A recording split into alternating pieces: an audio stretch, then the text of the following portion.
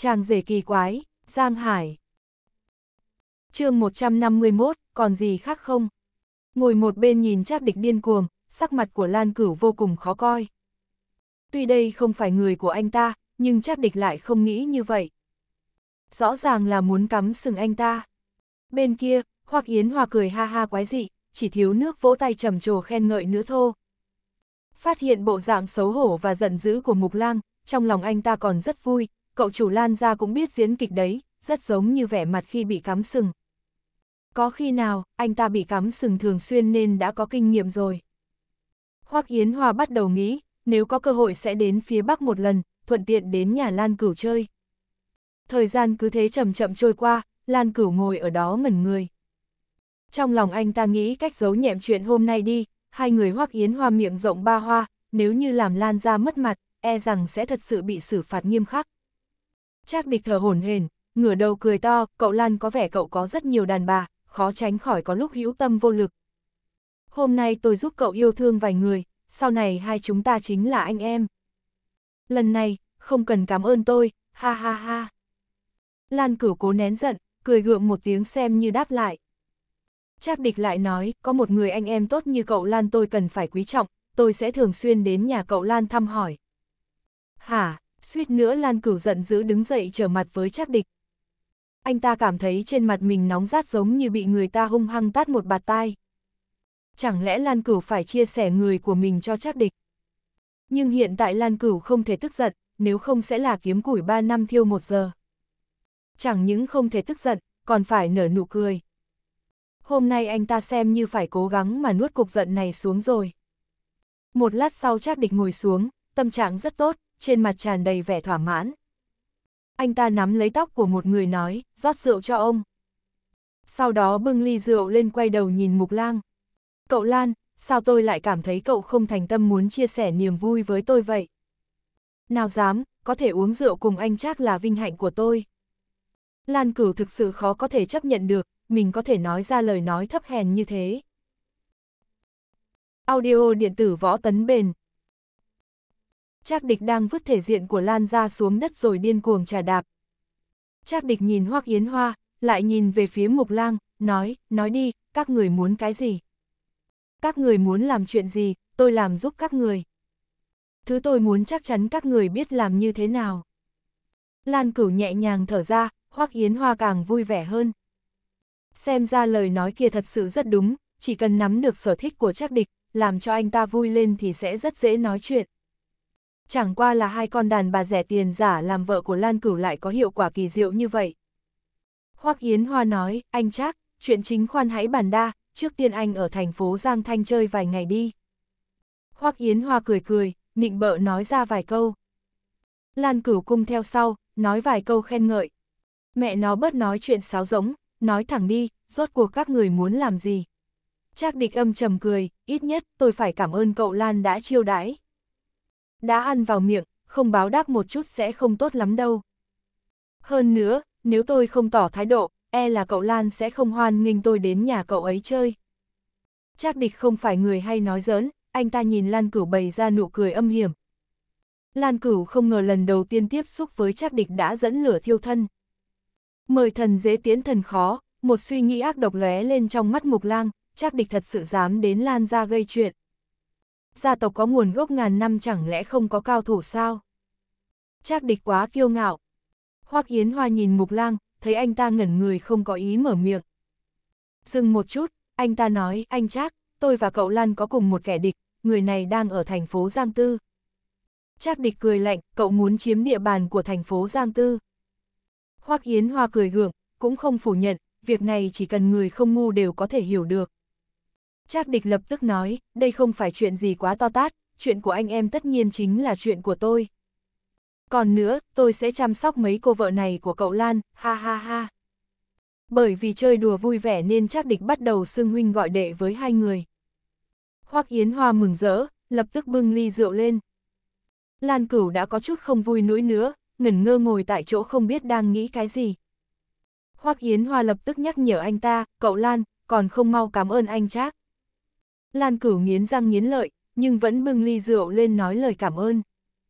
Trác địch lại nói, tôi sẽ cho người đến thành phố Giang Tư một chuyến, giết hết chín đời của thằng nhãi con kia. Anh ta nói ra lời này, không ai sẽ cho rằng đây là nói đùa. Kẻ hung tàn như Trác địch thực sự có thể làm ra loại chuyện khiến người ta hộc máu. Nhưng Hoắc Yến Hoa không tỏ vẻ phản đối. Dù sao đi nữa Trác địch ra tay cũng không liên quan gì tới anh ta. Nếu thành phố Giang Tư không có nhóm người Giang Hải thì chỉ còn là một mảnh đất trống, Hoắc Yến Hoa có thể thoải mái chiếm lĩnh. Bên kia, Lan Cửu lại ngẩng đầu lên, giết cả chín đời.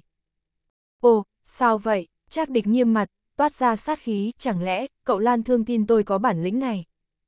Không không không, Lan Cửu nheo mắt, giết chết Giang Hải cũng không phải mục đích của anh ta, hơn nữa, anh ta còn muốn có được Lan Kiều và Cố Uyển Như. Anh Trác, Trác địch vung tay lên, hẳn là tôi nhỏ hơn cậu Lan một chút, kêu tôi Trác địch là được rồi, ha ha. Hai ta là người trên cùng một thuyền.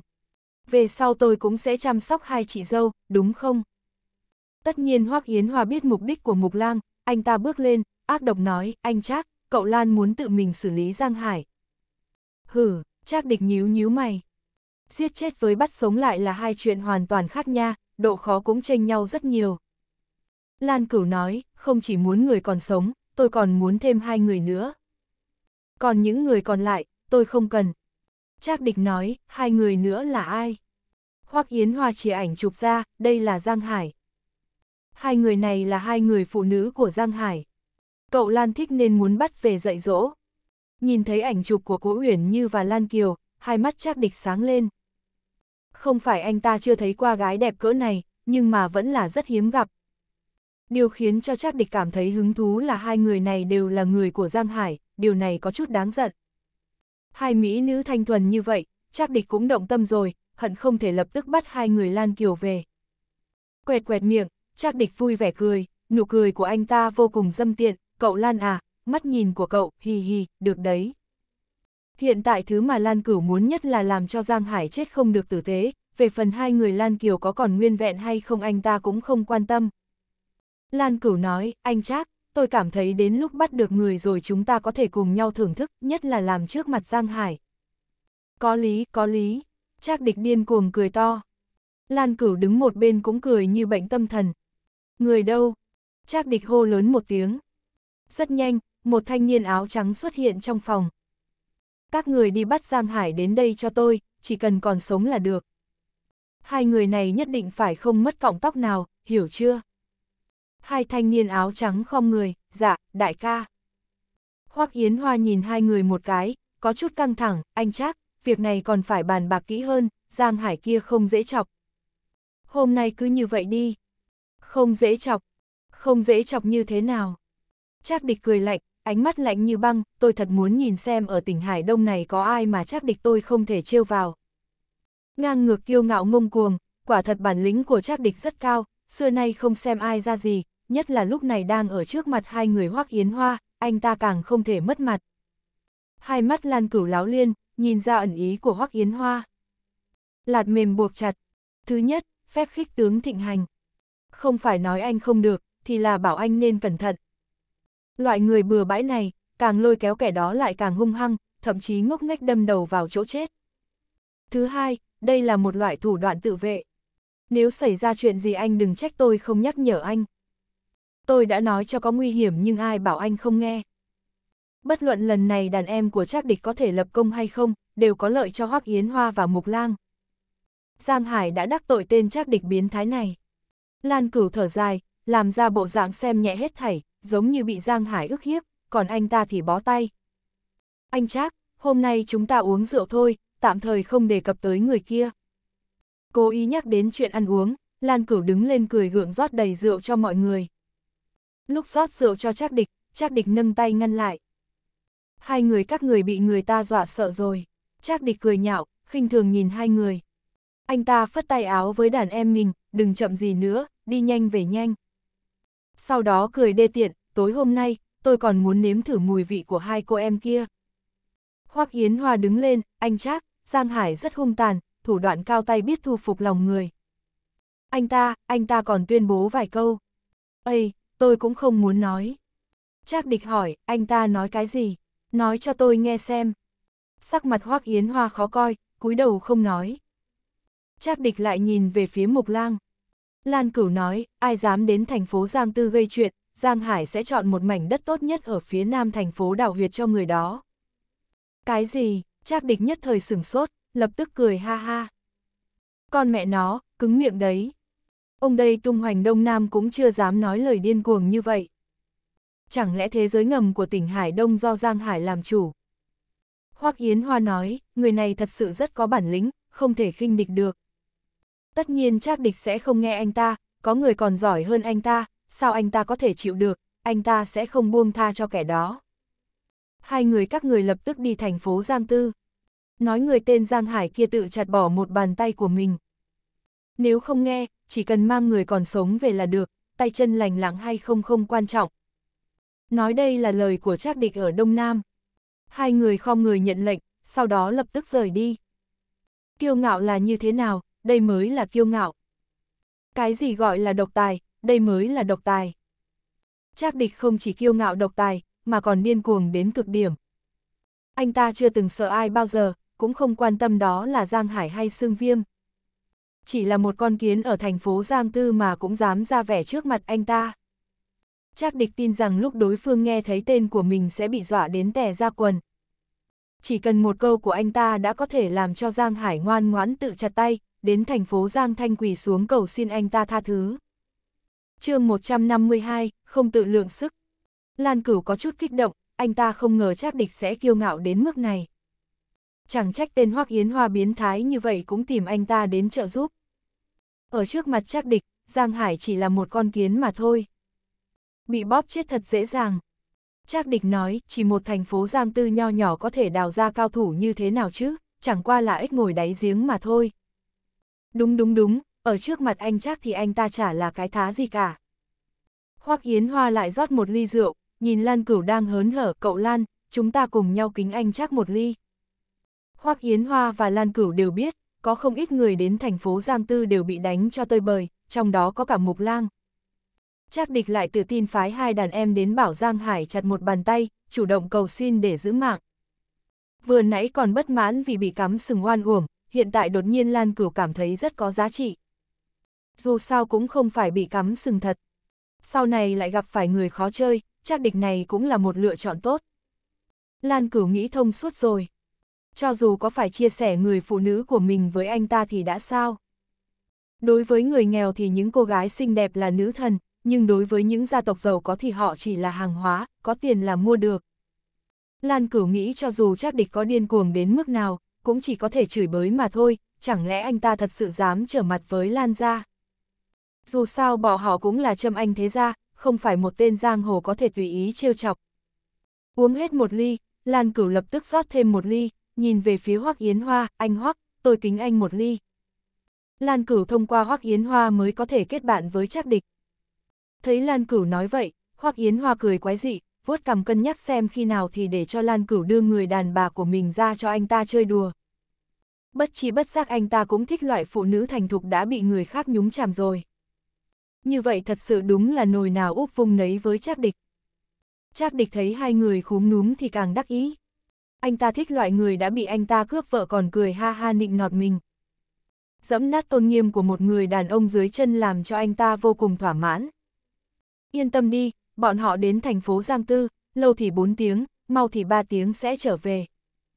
Nếu tên Giang Hải này thông minh hiểu chuyện hẳn là sẽ tự chặt một tay. Giang Hải chẳng qua là một thằng nhãi không biết trời cao đất rộng mà thôi, chắc địch cười nhạo không để chuyện này ở trong lòng. Lan Cửu đang nghĩ sau mấy tiếng nữa nên tra tấn nhục nhã Giang Hải như thế nào. Nếu như để cho nó chết quá dễ dàng thì quá hời cho thằng con hoang đó rồi. Lan Cửu phải làm nhục Lan Kiều và Cố Uyển như ở ngay trước mặt Giang Hải. Không chỉ có anh ta mà còn phải lôi kéo Trác Địch và Hoắc Yến Hoa chơi đùa. Anh ta muốn Giang Hải muốn sống không được muốn chết cũng không xong. Hoắc Yến Hoa lại vui sướng. Nắm được thành phố Giang Tư xem như đã nắm giữ toàn bộ thành phố Giang Thanh. Từ nay về sau ai dám cản trở Phác Thiên ưng, kẻ đó sẽ phải thịt nát xương tan. Kế tiếp, Hoắc Yến Hoa sẽ loại bỏ những ai không trung thành, cho lũ su nịnh lật mặt này cút đi. Có lẽ bàng đại ca còn ảo tưởng một ngày nào đó có thể trở lại thành phố Giang Thanh. Nhưng sẽ không bao giờ có chuyện đó xảy ra. Càng uống rượu càng có hương vị. Không khí cũng trở nên nóng rực quyến rũ. Trác địch đè hai người phụ nữ kia xuống làm thêm một lần. Hoắc Yến Hoa ngồi bên cạnh cũng bắt đầu dục dịch.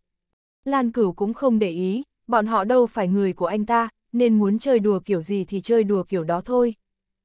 Trác địch còn cảm thán, Lan Cửu quả nhiên có xuất thân nhà danh giá, được dạy dỗ không tồi. Ba tiếng qua đi, Lan Cửu nheo mắt, không liếc mắt nhìn hai người phụ nữ bi trà đạp đến thê thảm kia. Thời gian đủ dài rồi, có phải bọn họ đã sắp trở về rồi không? Lan Cửu có chút gấp gáp, anh ta rất muốn nhìn thấy hai người Lan Kiều. Reng reng reng, điện thoại đổ chuông, Hoắc Yến Hoa nhìn số gọi đến nhíu nhíu mày. Lúc nghe điện thoại, đầu dây bên kia nói vài câu, sắc mặt anh ta đột nhiên thay đổi, lập tức ngắt điện thoại. Anh ta cố gắng làm cho mình bình tĩnh lại, nhưng trong lòng lại không kiềm được run rẩy. Anh ta không ngờ tình thế lại trở nên như vậy, hoàn toàn trái ngược với những gì mà anh ta đã nghĩ. Lúc này, một loạt tiếng động vọng từ ngoài cửa vào. Anh Trác, xem ra hai đàn em của anh mang người về đến rồi. Trác địch vừa lòng gật gật đầu, đi một đoạn xa như vậy mà vẫn phản kháng, cứng đầu phết đấy. Cho dù hai người đó có cứng đầu đến mức nào ở trước mặt anh Trác cũng sẽ ngoan ngoãn như mèo con thôi. Trác địch khoát tay, không không không, tôi không biết dạy dỗ bằng cậu Lan đây. Đợi bọn họ mang người vào, còn phải làm phiền cậu Lan dạy dỗ thay tôi một lát. Lan cửu cứng đờ, anh ta có ý gì, anh ta muốn mang hai người Lan Kiều đi. Đại ca, đại ca, a a. Vừa dứt lời, lập tức vang lên một tiếng kêu thảm thiết, nghe như cả người đều đang run rẩy. Trác địch trợn mắt lên, giọng này nghe rất quen tai. Không phải giọng của hai tên đàn em anh ta phái đi thành phố Giang Tư sao? Chẳng lẽ, đã xảy ra chuyện gì rồi? Lan Cửu cũng kinh ngạc, nháy mắt cũng tỉnh rượu hẳn. Chỉ có Hoắc Yến Hoa đã nghe được một chút tin tức. Lúc này anh ta không thay đổi sắc mặt, hai mắt láo liên nghĩ cách ứng phó. Hai thanh niên áo trắng được sai đến thành phố Giang Tư lảo đảo bước vào. Trong đó có một người thiếu mất một bàn tay, mà người ở phía sau đang bỏ vào. Hai gân chân của anh ta đều bị cắt rồi. Đã qua mấy tiếng đồng hồ, nhưng vết thương của hai người vẫn có máu tươi tràn ra. Sắc mặt hai người tái nhợt như tờ giấy, trên trán ướt đẫm mồ hôi. Giọng nói khàn khàn đau đớn, đại ca, tay của tôi, còn có gân chân của cậu ấy. Chúng tôi không phải đối thủ. ầm, um, hai mắt chắc địch trừng lớn như muốn nứt ra, quang ly rượu nát bấy. Anh ta đập mạnh lên bàn, chiếc bàn bằng gỗ quý lập tức rớt một góc. Thật to gan, người của tao mà cũng dám động vào. Sắc mặt chắc địch đỏ lên, giống như bị người ta tát mấy cái tát, chỉ khác biệt là không có dấu tay đỏ tươi. Không chỉ đàn em bị phế, mà chắc địch còn cảm thấy mặt mũi của mình cũng bị Giang Hải xé ra thành từng mảnh, thậm chí bị dẫm nát dưới chân. Vừa rồi chắc địch còn hưởng thụ lời khen của hai người mục lang. Anh ta cũng vô cùng tự tin với thực lực của hai đàn em của mình. Rằng hai người này nhất định sẽ bắt Giang Hải không trọn vẹn trở về. Nhưng bọn họ còn chưa thổi phồng xong, người anh ta phái đi đã đứt tay đứt chân trở lại. Giang Hải thành công chọc giận chắc địch. To gan. Đây là muốn chết. Anh ta, anh ta, còn nói. Bởi vì mất máu quá nhiều, giọng nói của bọn họ rất yếu, chân lảo đảo như sắp đứng không vững. Anh ta nói cái gì? Anh ta nói, bảo người muốn anh ta chặt tay đến đó quỳ xuống chịu tội. Còn nói, đã cho người chuẩn bị, chuẩn bị xong mồ ở núi phía nam thành phố.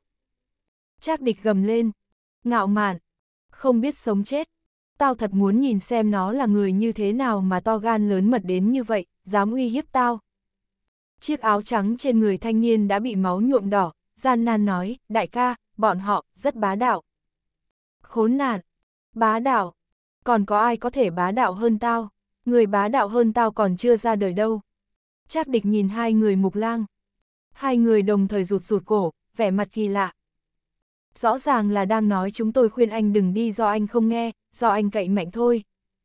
Bọn họ không thể tưởng được, chẳng qua là đến thành phố Giang Tư bắt mấy người mà thôi, lại bị thiệt hại lớn như vậy, thật sự là tự mình đánh mặt mình.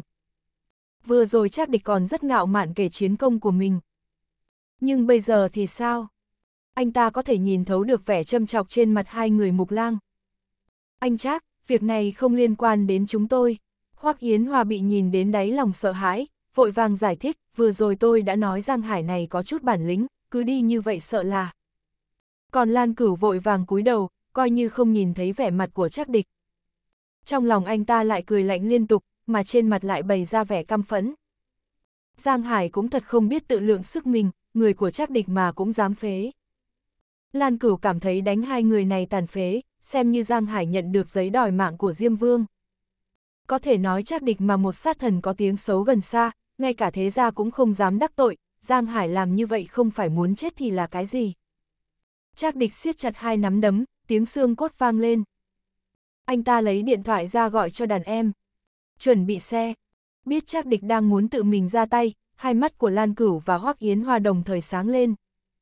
Hoắc Yến Hoa lại vội vàng đứng dậy, anh Trác, việc này vẫn cần phải bàn bạc kỹ hơn, Giang Hải kia thật sự không dễ chọc. Thật ra trong lòng anh ta chỉ ước gì chắc Địch đến thành phố Giang Tư ngay lập tức. Tuy anh ta đã chiếm được thế giới ngầm của thành phố Giang Thanh, cũng đã thu thập toàn bộ tài nguyên của tỉnh Hải Đông, chỉ còn lại thành phố Giang Tư, bởi vì có Giang Hải cho nên hơi khó giải quyết. Một ngày còn chưa nắm được thành phố Giang Tư trong tay, trong lòng Hoắc Yến Hoa cảm thấy như có thứ gì đó mắc ở cổ họng. Lan Cửu cũng khuyên can, anh chắc thành phố Giang Tư là nơi hỗn loạn, tôi cũng không gạt anh, lần trước đến đó tôi bị dày vò không ít. May mắn tôi chạy trốn mau, nếu không. Những lời khuyên can này càng giống như đổ thêm dầu vào cơn lửa giận của Trác Địch. Lan Cửu chịu thiệt ở thành phố Giang Tư, Trác Địch cũng sẽ chịu thiệt. Nhưng trong mắt Trác Địch, Lan Cửu chẳng qua chỉ là một đứa lông bông con nhà giàu chỉ biết tiêu tiền. Chỉ một Giang Hải, có gì mà phải sợ. Trác Địch nói, nếu hôm nay không xử lý thằng đó vậy thể diện của tôi để đâu.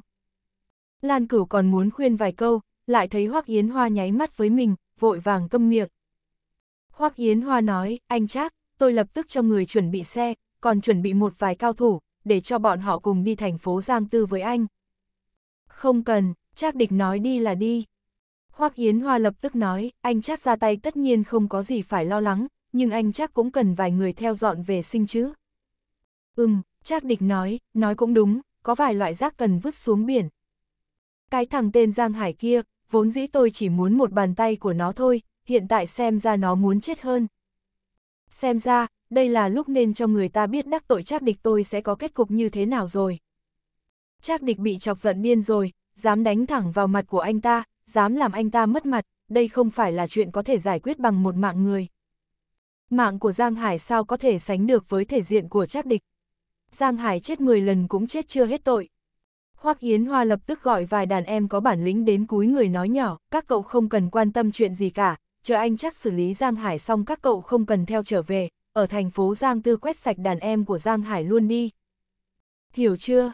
chương 153, sông tới. Trác địch mang theo vài tên đàn em và các cao thủ của Hoắc Yến Hoa đi rồi.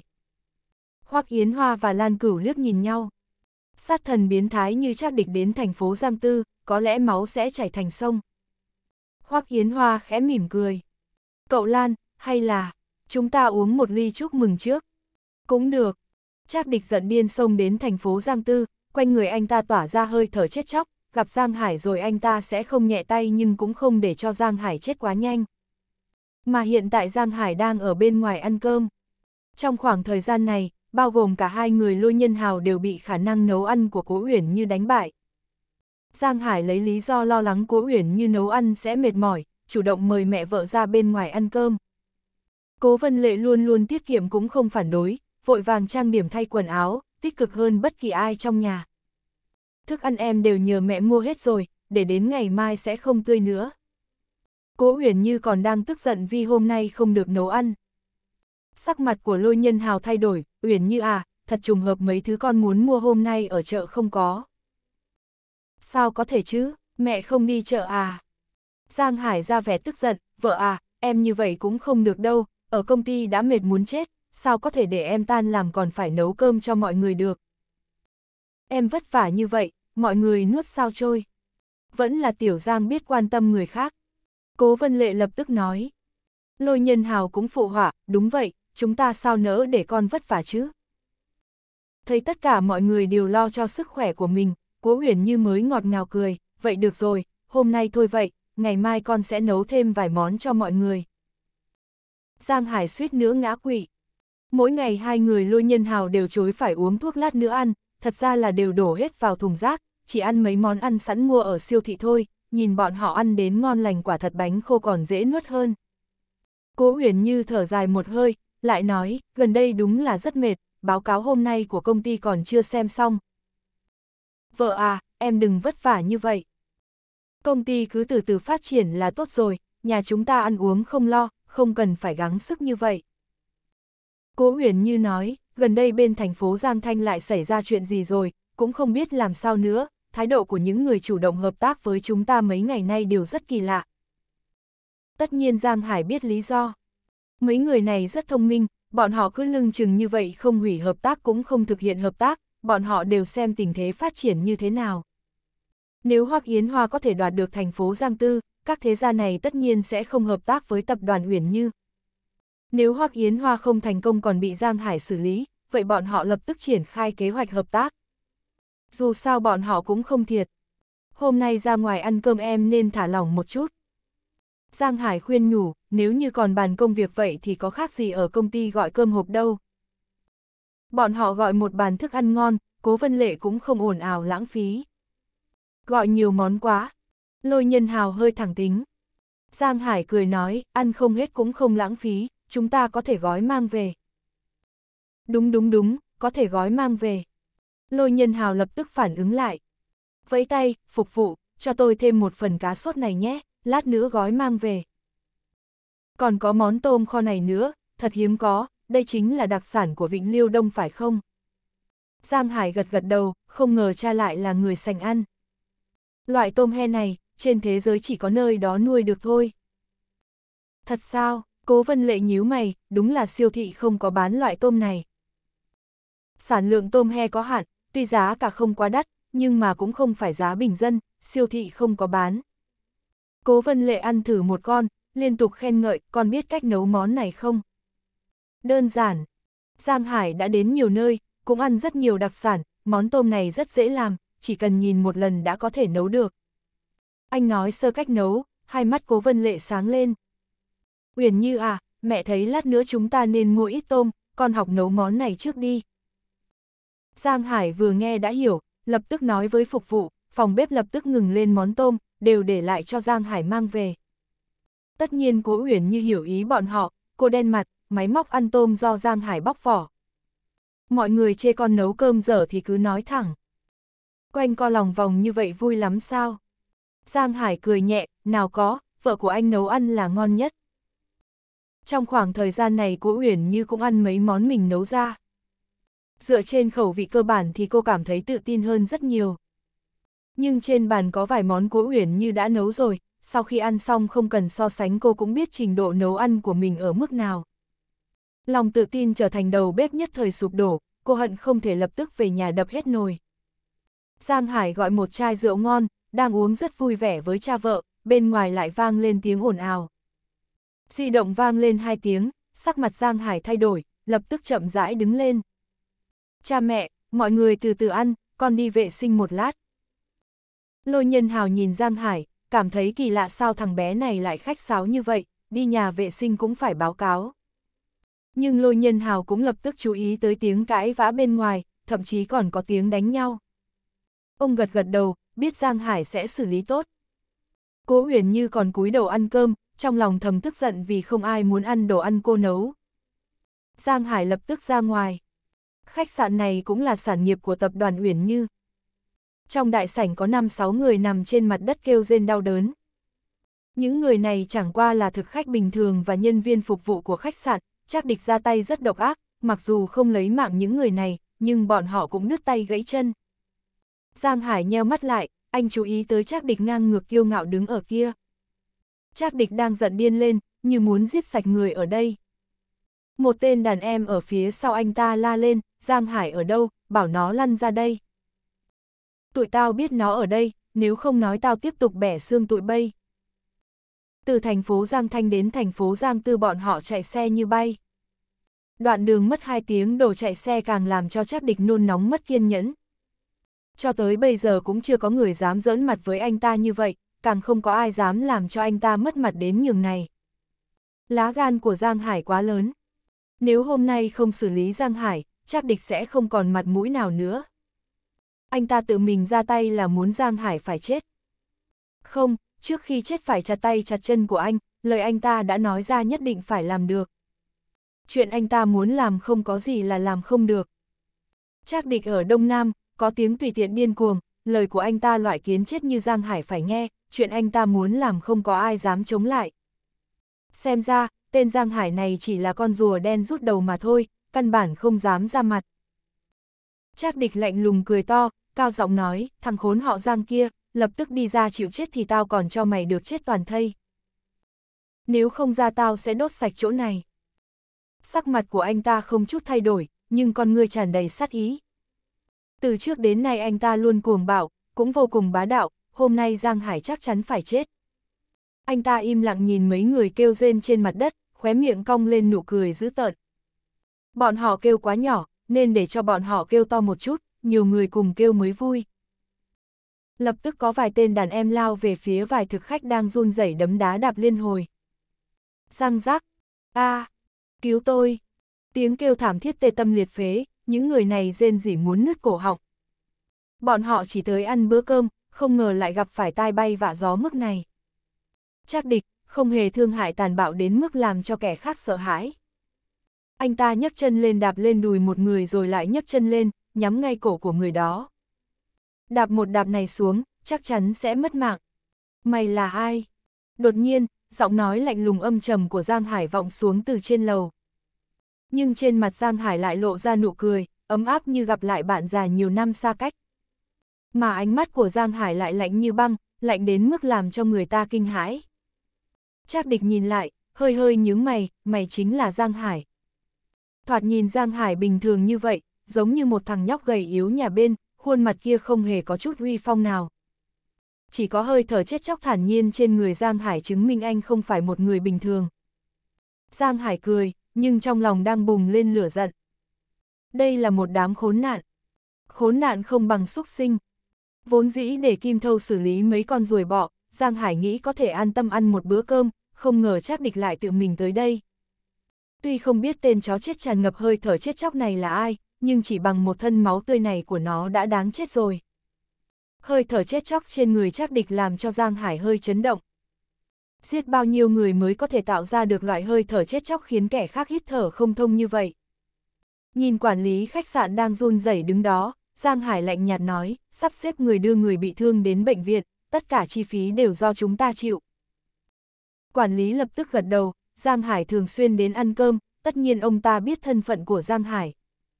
Cũng may sau khi Giang Hải xuất hiện, chắc địch không có hành động quá đáng nữa. Tùy ý để nhân viên phục vụ và vài thực khách đưa người đi. Khách sạn trở nên sạch sẽ, Giang Hải sờ sờ mũi, đáy mắt đã tối tăm như địa ngục sắp nuốt chửng chắc địch. Bỗng nhiên Giang Hải nhớ đến một chuyện. Sau khi Kim Thâu xử lý mấy con ruồi kia có nói với Giang Hải, bọn họ còn có đại ca, nhất định sẽ đến thành phố Giang Tư tìm Giang Hải.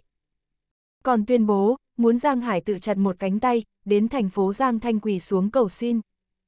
Loại ruồi bọ này Giang Hải không để ở trong lòng, không ngờ con ruồi dẫn đầu lại đến nạp mạng nhanh như vậy. Mặc kệ mày là ai hôm nay mày làm tao mất hứng cho nên, mày để mạng lại đi. Hừ, quả thật rất kiêu ngạo. Trác địch hừ lạnh, trên người lại toát ra hơi thở khủng bố. Giống như một con ác thú đang thèm uống máu người, có thể cắn chết Giang Hải bất cứ lúc này. Vẫn là câu nói trước đó của tao. Trác địch nói, tự mày biết điều chặt một bàn tay, quỳ xuống xin lỗi tao, có lẽ tao sẽ cho mày được chết toàn thây. Giang Hải mỉm cười, đi về phía trước hai bước, đại ca à, nói sao rồi? Hừ, Trác địch nói, mày không đồng ý. Không không không, tôi không có ý đó. Giang Hải nói, tao tự chặt đứt tay, lại bị mày đánh chết, như vậy thì đâu phải là toàn thây. Đúng vậy, sao Trác địch lại không nghĩ đến chuyện này chứ? Trác địch nhìn chằm chằm gương mặt châm biếm của Giang Hải, biết thằng khốn này đang sỏ xiên mình. Mày thật sự muốn chết, nếu đã như vậy, hôm nay tao sẽ cho mày như nguyện. chương 154, kết cục cho kẻ ngáo. Nói xong, Trác địch nhảy lên đánh về phía Giang Hải. Trong tay anh ta cũng xuất hiện một con đao ngắn. Lưỡi đao sáng lòe lòe, trông vô cùng sắc bén. Đây là một thanh nhuyễn đao, lưỡi đao uốn éo qua lại như rắn độc. Mà Giang Hải đứng ở tại chỗ vẫn ung dung rút một điếu thuốc ra châm lửa. Ánh sáng trong đáy mắt anh vụt tắt, nụ cười cũng biến mất, chỉ còn sót lại sự lạnh lẽo như địa ngục. Hình ảnh Trác Địch lao tới nhanh chóng phóng đại trong mắt anh. Trác Địch cũng không thay đổi sắc mặt, chỉ chăm chăm muốn giết người. Từ trước đến nay anh ta luôn cuồng bạo khát máu, càng không có kiên nhẫn, mấy năm này chỉ cần có người đụng vào người của anh ta, không cần biết đối phương là ai, giết là được. Máu tươi nhuốm tay anh ta càng đỏ, tiếng tăm của Trác Địch cũng càng ngày càng vang xa. Đã rất lâu rồi không ai có thể làm cho anh ta tức giận. Cũng rất lâu rồi không ai dám đánh đàn em của anh ta, càng đừng nói đến việc đánh cho tàn phế. Lần này anh ta cực kỳ tức giận. Quá chậm, Giang Hải phà ra một hơi khói, giọng nói âm trầm. Xem ra, mày rất thích giết người thường. Mà tao, lại không giống, tao thích giết, xúc sinh. Vừa dứt lời, Giang Hải di chuyển. Lưỡi đao sắc bén đâm về phía đầu anh. Giang Hải khinh thường lui nửa bước, nhìn như có vẻ rất chậm nhưng hành động chỉ trong chớp mắt. Anh nâng tay bắt được cổ tay của chắc địch, nhìn như vô lực lại vững vàng giữ chặt. Dưới chân anh lại di chuyển, nghiêng người bước lên một bước, sau đó trở tay bẻ cổ tay của chắc địch sang một bên, tiếp theo lại bẻ trở về. Đao ngắn đâm vào thẳng ngực của chắc địch, nhưng anh đa tránh không đâm vào chỗ hiểm. Giang Hải sẽ không để cho tên xúc sinh tội ác ngập trời này chết dễ dàng được, như vậy quá hời cho anh ta. Trác địch sướng sờ ngay tại chỗ, đồng tử kịch liệt co rút lại. Sao, sao có thể? Giang Hải nói, có phải mày thấy rõ mỗi một động tác của tao? Rõ ràng là có thể rất dễ dàng tránh thoát, nhưng mà không kịp làm gì cả. Đúng vậy, Trác địch toát mồ hôi lạnh, thật sự giống như Giang Hải nói.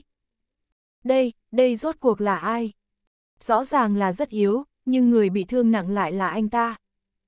Rõ ràng có thể tránh được, nhưng đao của Trác địch lại đâm vào cơ thể anh ta. Máu tươi đầm đìa, Trác địch biết lần này mình đụng phải đá rồi. Hơn nữa e rằng anh ta sẽ phải bỏ mạng tại thành phố Giang Tư. Đột nhiên Trác địch trừng lớn hai mắt nhìn thẳng vào Giang Hải. Anh ta nghĩ đến câu nói kia, nếu có người dám đến thành phố Giang Tư gây chuyện Giang Hải sẽ đào sẵn mộ cho kẻ đó ở phía nam thành phố. Trác địch cắn chặt răng, không cam lòng nắm chặt hai nắm đấm, anh ta không thể nào đánh không lại. Rốt cuộc mày là ai? Tao. Giang Hải nhếch miệng cười, Trác địch cảm thấy nụ cười kia rất vô cùng đáng sợ. Mày nhìn cách phát âm của tao này. Tao là người mà mày vĩnh viễn không có được, chính là cha mày. Trác địch giận dữ, có thể chết nhưng không thể chịu nhục. Mày muốn chết. Giang Hải lại nói, chấp nhận đi, đây là ngày cuối cùng trong sinh mệnh của mày. Tao sẽ cho mày thấy rõ sự đáng sợ của thế giới này. Trác địch đột nhiên dậm chân, mặt đất như rung lên, anh ta nắm chặt hai nắm đấm lại, mạnh mẽ dứt khoát đấm về phía mặt của Giang Hải. Trác địch biết thời gian của mình không nhiều lắm, cơ hội ra tay của anh ta cũng không còn nhiều. Cho nên anh ta hạ quyết tâm, không chịu thua, liều mạng đối đầu với Giang Hải. Cả người anh ta to cao hơn Giang Hải nên cánh tay của anh ta cũng dài hơn Giang Hải. Nếu như có thể làm Giang Hải bị thương cũng rất có giá trị. Nếu thắng hiểm anh ta chắc chắn sẽ bẻ từng khúc xương của Giang Hải ra, nhưng vẫn giữ lại mạng cho Giang Hải. Khiến cho Giang Hải sống không bằng chết. Đây là kết cục của việc làm nhục anh ta. Nhưng Giang Hải nào cho anh ta cơ hội này? Với thực lực chênh lệch rõ ràng như vây, âm mưu quỷ kế cũng chỉ là trò cười. Đột nhiên chắc địch phát hiện có một lực lượng mạnh mẽ hơn đang quét đến, chỉ trong nháy mắt, nắm tay nhìn như yếu ớt của Giang Hải đã chạm vào hai nắm đấm của anh ta. Nắm đấm của Giang Hải nhìn như qua loa hời hợt nhưng lại như sóng cuộn gió gào. Trác địch cảm thấy mình như đấm vào vách núi, con người của anh ta đột nhiên co rụt lại, tiếp theo chợt nghe tiếng xương cốt gãy nát. Bén nhọn, chói tai làm cho người khác cắn chặt răng. Một đấm của Giang Hải. Nhìn như thong thả nhưng lại rất nhanh. Giờ khắc này, Trác địch đã hiểu được. Không phải anh ta có thể thấy rõ động tác của Giang Hải, thứ mà anh ta nhìn thấy đều là ảo ảnh. Giang Hải là cao thủ. Hơn nữa còn là cao thủ mà đời này anh ta không nên trêu vào nhất. Giang giác, bốn nắm đấm vừa chạm vào nhau, sức mạnh của Giang Hải như xuyên thấu cơ thể của Trác địch. Tay của anh ta lập tức máu thịt lẫn lộn giống như một bãi bùn. Sau đó bởi vì phản lực, Trác địch bay ngược ra ngoài. Sự kinh ngạc trên mặt đã sắp biến thành kinh hãi. Trác địch ngã trên mặt đất cảm thấy hít thở không thông, tiếp theo anh ta kịch liệt ho khan, phun ra một ngụm máu tươi. Hai tay của anh ta đã bị phế, cũng không biết đã bị gãy thành bao nhiêu khúc, nằm dài trên đất đã mất sức phản kháng. Hai người giao thủ chỉ mất hơn 10 giây. Ngay lúc Trác Địch nhảy dựng lên, đàn em của anh ta và những cao thủ của Hoắc Yến Hoa đều nghĩ Giang Hải xong rồi, anh sẽ biến thành một cái xác nhanh thôi. Uy danh của Trác Địch không chỉ vang xa ở Đông Nam, mà cả thế giới ngầm của tỉnh Hải Đông cũng đều biết đến. Tên Giang Hải không biết trời cao đất dày này, chỉ cần một chiêu của Trác Địch nhất định có thể lấy mạng của anh ta. Mọi người còn đang ảo tưởng sau khi bắt được Giang Hải sẽ sâu xé thành phố Giang Tư như thế nào. Bịch, nhưng, lúc Trác Địch bay ngược ra ngoài, mọi người chỉ cảm thấy hoa mắt. Thấy người nằm trên mặt đất là Trác Địch, mọi người đều hít sâu một hơi. Sao, sao có thể? Uy danh của Trác Địch cũng không phải do thổi phồng mà có, anh ta tuyệt đối là phái thực lực. Sao có thể chỉ ra một chiêu, nói vài câu vô nghĩa đã bay ra ngoài rồi. Đại ca, đại ca, mấy thanh niên áo trắng nhìn thấy Trác Địch đã bị phế, đột nhiên nổi điên. Vài người gầm lên sông về phía Giang Hải, một bộ phận khác chạy đến chỗ Trác Địch. Trác Địch lại phun ra một ngụm máu tươi, thì thào, sao có thể, nhanh như vậy. Bịch bịch bịch, những âm thanh trầm đục vang lên, mấy người xông về phía Giang Hải đều bay ngược ra ngoài. Đi, đi mau, quay về, trở về nói cho. Nhưng chắc địch có nói gì cũng không quan trọng nữa. Mấy thanh niên áo trắng bên cạnh anh ta đều bị Giang Hải đánh bay, ngã xuống đất kêu rên. Lúc này chắc địch đã không còn ý chí chiến đấu nữa, trên mặt anh ta chỉ còn nỗi sợ hãi khi đối mặt với tử vong. Giang Hải bước lên, khoanh tay nhìn xuống. Mày có từng nghĩ tới, những người mày từng giết cũng sợ hãi khi đối diện với cái chết như vậy không? Trác địch có nghĩ tới, chẳng qua anh ta rất hưởng thụ cảm giác đó. Anh ta thích nhìn những người đó bị anh ta dẫm nát dưới chân thống khổ kêu rên, anh ta thích nhìn từ trên cao xuống, trở thành chúa tể của người khác. Giang Hải nhấc chân lên nhẹ nhàng đặt lên đầu gối của Trác địch. Mày tên gì? Trác địch run rẩy dữ dội, gian nan nói, tao là Trác địch ở Đông Nam, tốt nhất mày nên thả. a à, anh ta đau đớn kêu lên, Giang Hải đạp nát xương bánh chè của chắc địch, chân của anh ta vĩnh viễn bị phế. Trả lời đúng câu hỏi là được rồi, ai cho mày dành lời. Giang Hải lại hỏi, chúng ta có từng có thủ oán? Không có tao chỉ muốn. a à, Giang Hải lại đạp nát xương bánh chè còn lại của anh ta. Người của Trác Địch cũng đang nằm trên mặt đất mất sức chiến đấu. Mà người của Hoắc Yến Hoa đang phát run, nơm nớp lo sợ. Giang Hải giống như ác ma bò lên từ địa ngục, khủng bố đến mức khiến kẻ khác hít thở không thông. Giang Hải nhìn thoáng qua bọn họ, có mấy người nhịn không được tè ra quần. Lúc này không biết ai hô một câu, chạy. Những cao thủ do Hoắc Yến Hoa chọn ra quay đầu vội vàng chạy ra phía ngoài. Nhưng mới vừa chạy ra được vài người, bọn họ lập tức dừng lại. Trước mặt bọn họ là một nhóm thanh niên đứng nghiêm chỉnh. Nhóm người Kim Thâu khoảng 100 người đang canh giữ ở bên ngoài. Bịch bịch, bịch bịch.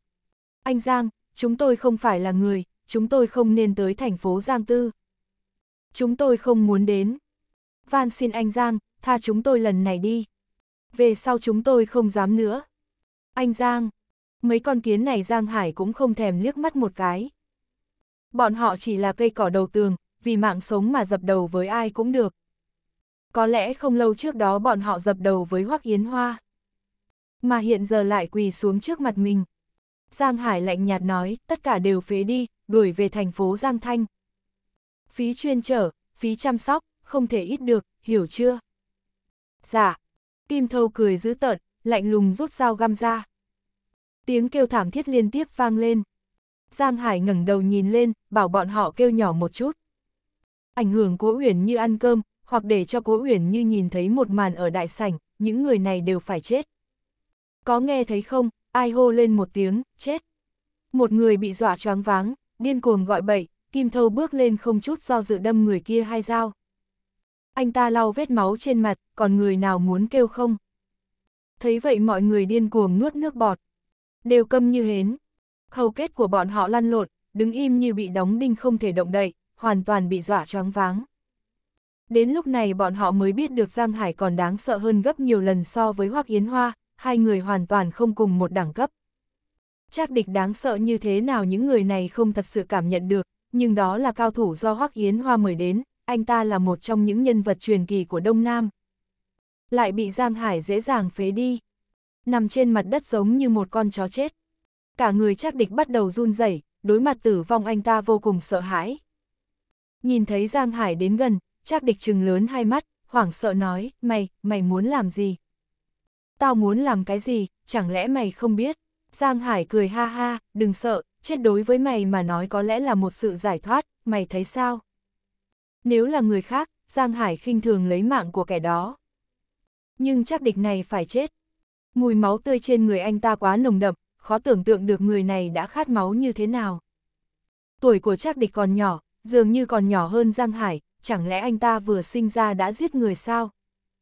Không, mày không thể giết tao, giết tao mày sẽ xui xẻo. Xui xẻo, Giang Hải gãi cầm, có vẻ có hứng thú nhìn chắc địch. Nói nghe xem, tao sẽ xui xẻo như thế nào? Đã rất lâu rồi tao chưa xui xẻo. Thấy Giang Hải đứng càng gần, chắc địch hoảng sợ trườn về phía sau, nhưng tay chân của anh ta đã toàn bộ bị phế, vừa động một chút sẽ đau đớn đến tận xương tủy.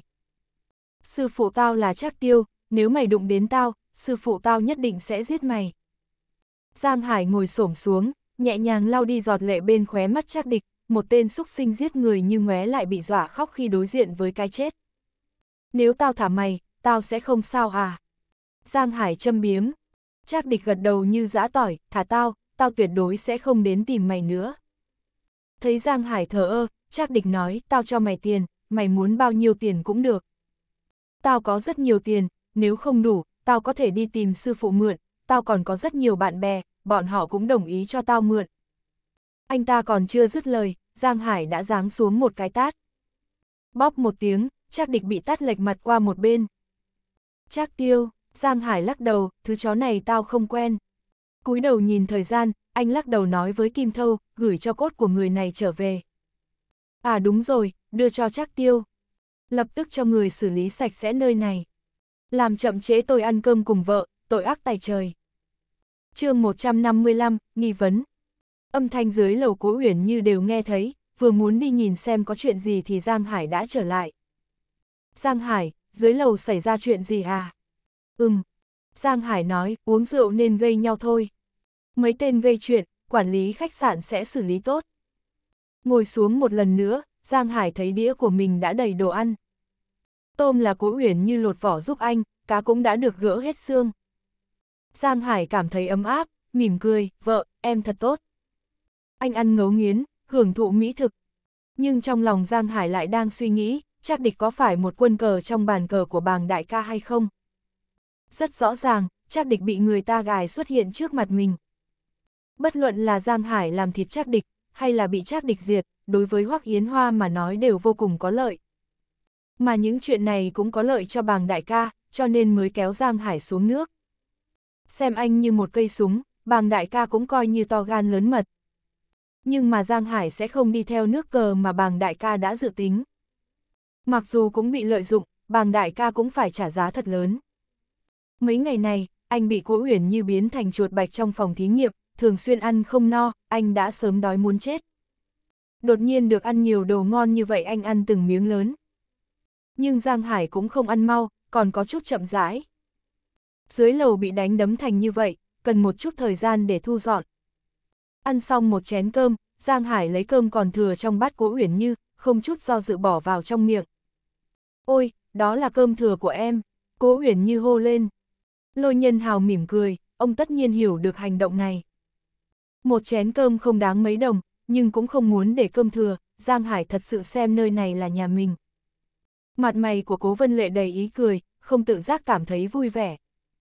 Con gái bà được gả cho người tốt. Bà nhìn con rể càng ngày càng thích. Giang Hải nhếch miệng cười, lãng phí rất đáng tiếc.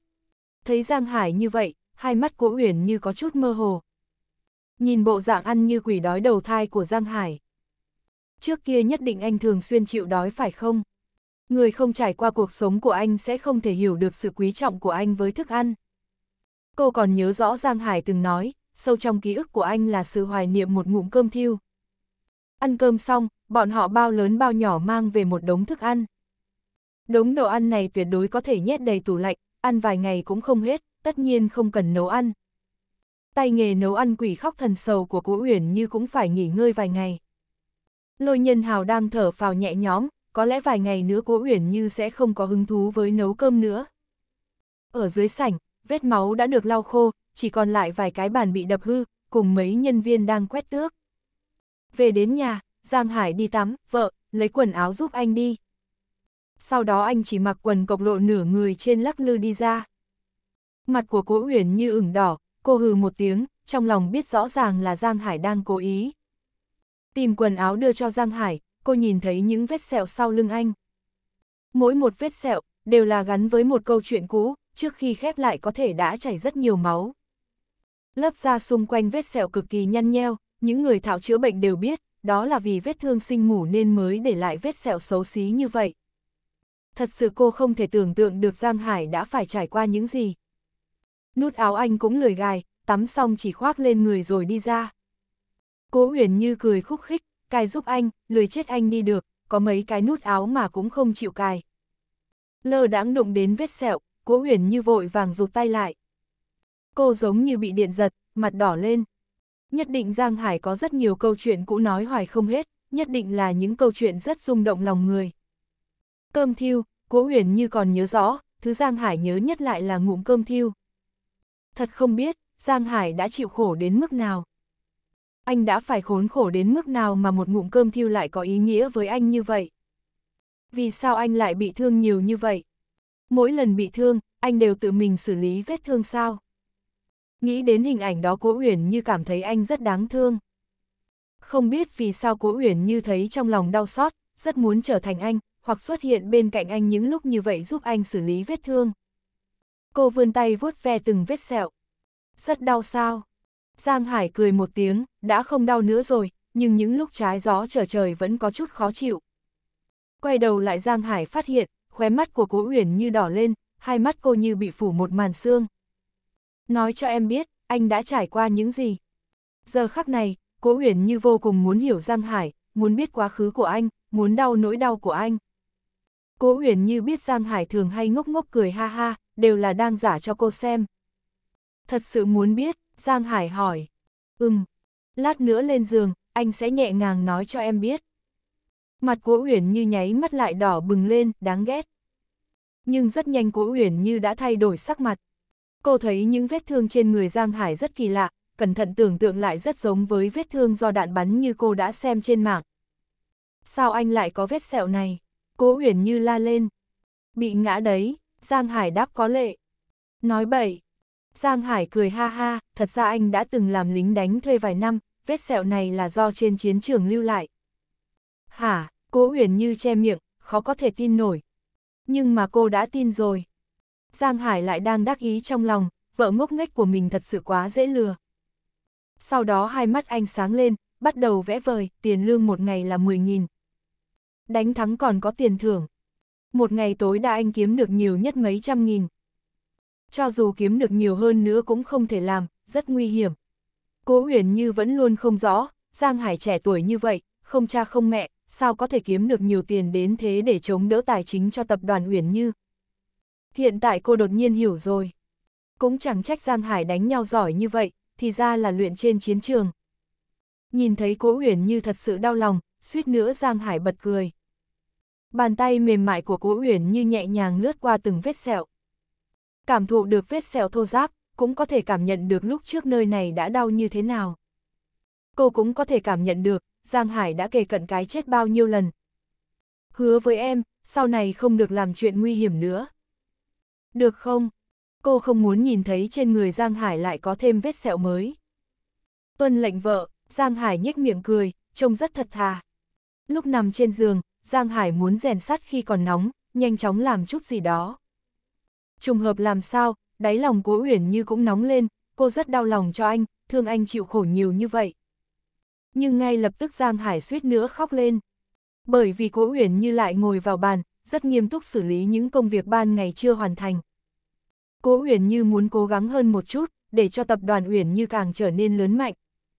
Giang Hải vì tiền mà đi làm lính đánh thuê, nếu như có nhiều tiền đến mức tiêu không hết anh sẽ không làm chuyện mạo hiểm nữa. Mà Cố Uyển Như càng mong muốn hơn là chia sẻ gánh nặng với Giang Hải. Cả nhà Cố Uyển Như được như ngày hôm nay đều do Giang Hải mang đến. Ở thành phố Giang Thanh, Hoắc Yến Hoa còn đang uống rượu với Mục Lang. Chuyện đề cử, cô vợ câm của chùm mafia. Hoắc Yến Hoa vô cùng tin tưởng vào bản lĩnh của Trác Địch. Lan Cửu cũng bị sự kiêu ngạo của Trác Địch ảnh hưởng, anh ta cũng cho rằng Giang Hải phải chết không thể nghi ngờ. Trong lòng anh ta còn lo lắng Giang Hải thật sự là tự tím đường chết, dám phế đi đàn em của Trác Địch. Trác Địch tức giận như vậy sợ là sẽ trực tiếp giết chết Giang Hải. Lan Cửu muốn đích thân xử lý Giang Hải cũng không được nữa. Từ thành phố Giang Thanh đến thành phố Giang Tư, cả đi cả về mất khoảng 5 tiếng. Hai người vừa tán gẫu vừa uống rượu, thẳng đến khi trời tờ mờ sáng cũng không thấy Trác Địch trở về. Trong lòng Lan Cửu bồn chồn, anh Hoắc, sao đến bây giờ anh chắc còn chưa trở về? Có phải xảy ra chuyện gì rồi không? Hoắc Yến Hoa uống nhiều đến mức đầu lưỡi đã sắp cứng lại rồi, sao có thể, cậu Lan Thương biết bản lĩnh của Trác Địch rồi. Anh ta đè thấp giọng nói, tôi đã tận mắt nhìn thấy rồi, ba gã cao thủ, cậu đoán Trác Địch dùng mấy chiêu? Ba chiêu, Lan Cửu đoán Hoắc Yến Hoa đang muốn thổi phồng, một chiêu một người đã vô cùng uy phong rồi. Phụt, Hoắc Yến Hoa hừ lạnh, một chiêu. Sao có thể, Lan Cửu có chút khó tin, trừ phi ba người kia đứng bất động. Thật sự là một chiêu, Trác Địch nói, hơn nữa một chiêu lấy mạng ba người. Hả, Lan Cửu hoảng sợ, Trác Địch cũng quá mức hung ác rồi. Bản lĩnh của Trác Địch không phải do thổi phồng lên đâu. Hoắc Yến Hoa nói, cho nên tôi cho rằng hiện tại chắc chắn Giang Hải đã chết. Nhưng, Lan Cửu nhíu mày, nếu đã làm xong, mặc dù Trác Địch không hồi âm, nhưng đàn em của Hoắc Yến Hoa đâu, chẳng lẽ không một người nào biết gọi điện thoại về báo tin vui. Hoắc Yến Hoa nói, tôi đoán, nhất định là Trác Địch bắt được hai mỹ nhân kia rồi, lúc này đang mây mưa cũng nên. Chuyện này thực sự này có thể xảy ra. Lan Cửu đau xót trong lòng, đó là người mà anh ta nhìn chúng trước, thế nhưng phải để cho Trác Địch nhúng chàm trước. Chờ Trác Địch làm người ta tan nát, chẳng phải Lan Cửu phải ăn cơm thừa của người khác à. Trác Địch kiêu ngạo lại cứng đầu. Ngoài trừ yêu thích vợ của người khác anh ta còn tham tài. Xử được Giang Hải rồi chắc chắn anh ta muốn chiếm lợi trước. Lúc này Trác địch báo cho hai người Hoắc Yến Hoa, chẳng phải đang mời bọn họ đến thành phố Giang Tư cướp cơm của anh ta à. Lại rót một ly rượu, Hoắc Yến Hoa rất vui vẻ. Từ lúc vào tỉnh Hải Đông, đầu tiên là xử lý lôi đại ca, sau đó dọa bàng đại ca chạy. Mới bao lâu cũng nắm được thành phố Giang Tư trong tay, chuyện hơn 20 năm lôi đại ca và bàng đại ca không hoàn thành được, không đến một tháng anh ta đã làm được toàn bộ. Đổi thành ai khác cũng đủ để kiêu ngạo. Một lát sau, Lan Cửu cũng nở nụ cười dữ tợn, anh Hoắc, như giao hẹn trước đó của chúng ta. Yên tâm, tôi sẽ không nhúng tay vào tập đoàn Uyển Như, chỉ để cho cậu chiếm lợi. Hoắc Yến Hoa lập tức nói, nhưng mà tôi phải nói trước, nếu các thế gia khác và hoàng tộc muốn nhúng tay vào thì cậu đừng trách tôi không giúp. Lan Cửu cười gật đầu, tất nhiên rồi. Tuy rằng người đứng đầu thành phố Giang Tư là người của hoàng tộc, Lan Cửu vẫn có biện pháp làm ông ta nhả tập đoàn Huyền Như ra. Đến lúc đó cho ông ta một ít cổ phần công ty là được. Về phần các thế gia thì hiện giờ đã khó phân thắng bại, ai còn còn hơi sức đâu mà để ý đến thành phố Giang Tư nữa đây. Lan Cửu không biết người có hứng thú với tập đoàn Uyển Như không chỉ một mình anh ta. Hoành Thiên Giai cũng đã sớm dòm ngó. Lan Cửu bưng ly rượu lên, cử chỉ tao nhã. Anh Hoắc, hợp tác vui vẻ. Hoắc Yến Hoa cười ha ha, chạm ly, ngửa đầu uống cạn. Mà lúc này, một người cả người đầy máy chạy vào, quỳ dạp trên mặt, há miệng lại phun ra máu tươi. Lan Cửu hoảng sợ. Hoắc Yến Hoa đột nhiên thay đổi sắc mặt. Sao lại thế này? Người này gian nan ngẩng đầu, mở cái miệng đầy máu của mình ra, đầu lưỡi đã bị cắt một nửa. chương 156, người đâu? Là lão già họ bàng kia trở về sao? Hoắc Yến Hoa hỏi. Lưỡi không còn, làm sao có thể trả lời được, chỉ thiếu một ngụm máu phun chết anh ta luôn. Người nọ lắc đầu, Hoắc Yến Hoa sờ cầm, lại hỏi, là nghiệp ra biến mày thành ra như vậy. Người nọ vẫn lắc đầu, miệng ô ô nói gì đó không ra lời. Lan Cửu ở một bên cũng nhìn không nổi nữa. Hoắc Yến Hoa này chính là một tên biến thái, người ta bị thương thành như vậy còn không nhanh chóng cho đi bệnh viện. Mà Hoắc Yến Hoa không quan tâm đến người bị thương chút nào, chỉ đang nghĩ ai dám động đến người của mình. Chẳng lẽ là người của bàng đại ca? Hoắc Yến Hoa lẩm bẩm trong miệng, không thể nào, mấy đứa cứng đầu, đã bị tiêu diệt hết rồi. Nam chiến. Hoắc Yến Hoa lại nghĩ đến một khả năng, vừa định hỏi thì người kia đã ngất xỉu. Khoát khoát tay, lập tức cho người khiêng anh ta đi. Hoắc Yến Hoa cảm thấy khó giải quyết rồi đây. Nếu cao thủ như Nam Chiến phản công, mà lại còn không đối kháng chính diện, chỉ giết đàn em, đó là chuyện cực kỳ đáng sợ. Nếu anh ta muốn giết người, ai có thể ngăn cản được. Hoắc Yến Hoa nói, xem ra, đã đến lúc phải tóm cổ nam chiến và nghiệp ra rồi. Nếu chắc địch ra tay tiêu diệt, cũng đỡ phải tự mình ra tay. Lúc này, lại có một người ôm lấy cánh tay chạy vào, mặt mũi bầm tím, thảm không nhìn nổi.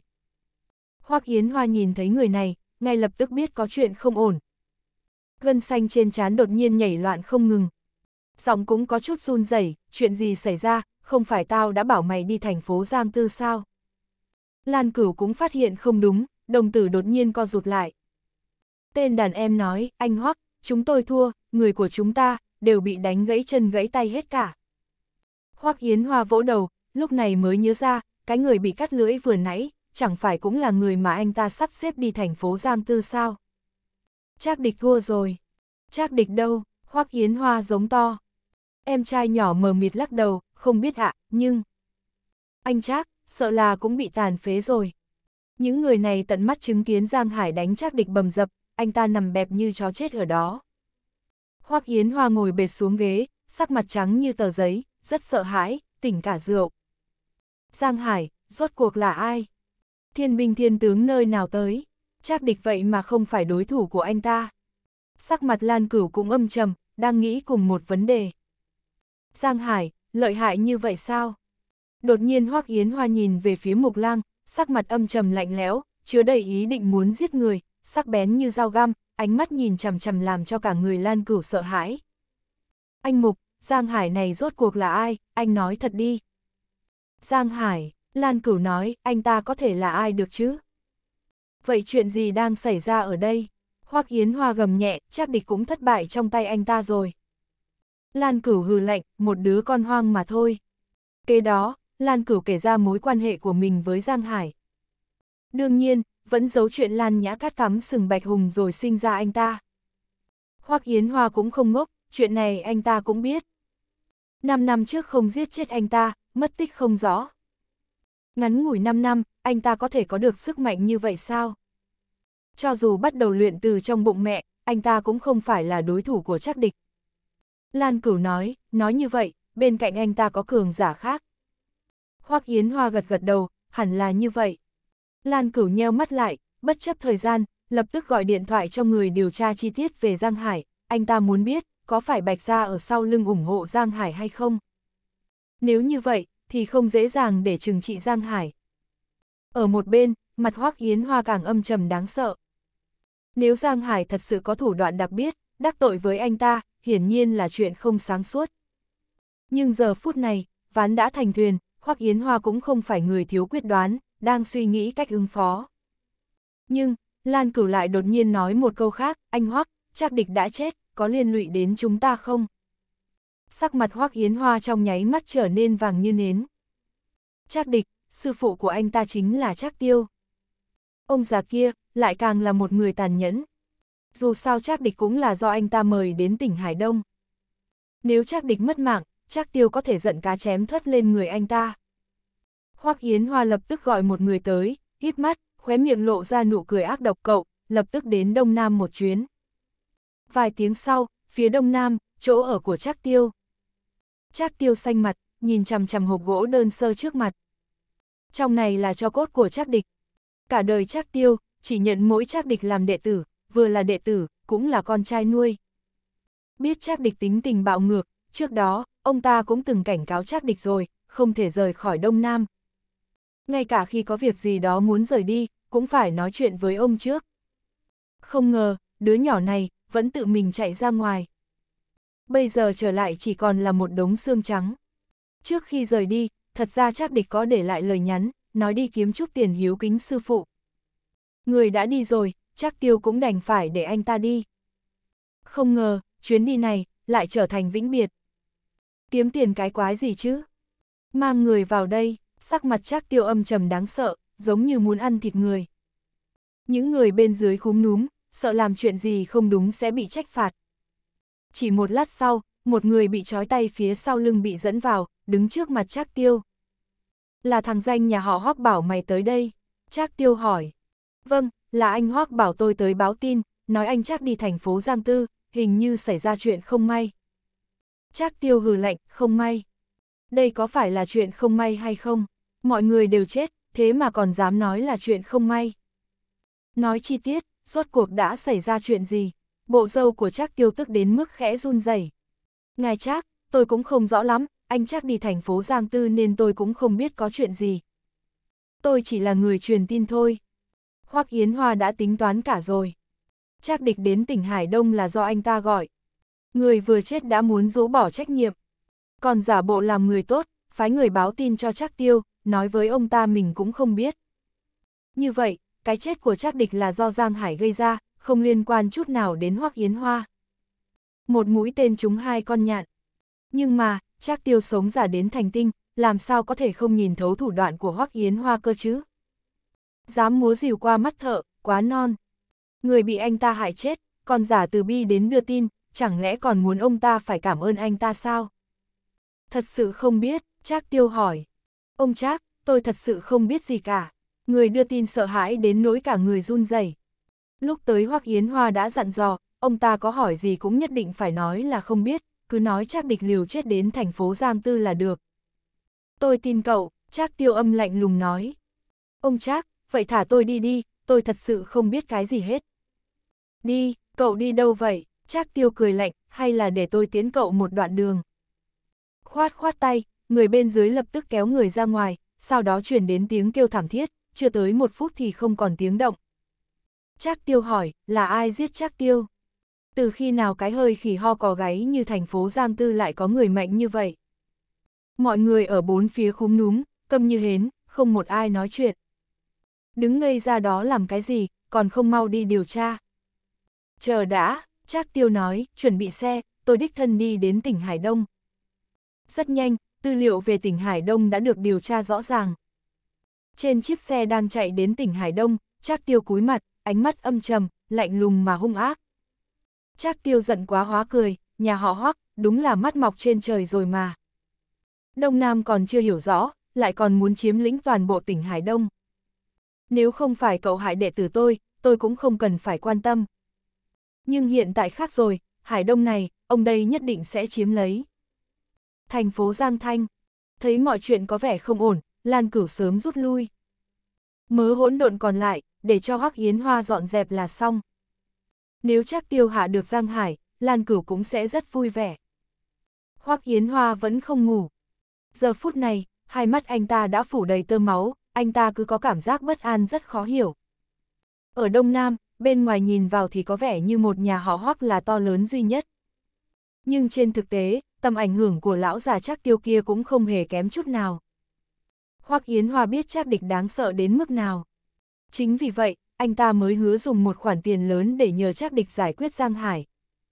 Ai mà ngờ được, chắc địch không chỉ không hạ được Giang Hải, còn bị giết. Khi tin tức chắc địch đã chết truyền về, Hoắc Yến Hoa vô cùng sợ hãi. Quả thực không thể tin được, Giang Hải lại to gan đến mức này. Giờ phút này, Hoắc Yến Hoa đã nảy sinh một cảm giác sợ hãi không giải thích được đối với Giang Hải. Mặc dù chưa gặp mặt, nhưng trong ấn tượng của anh ta, sự bá đạo của Giang Hải chỉ có hơn chứ không hề kém Trác Địch.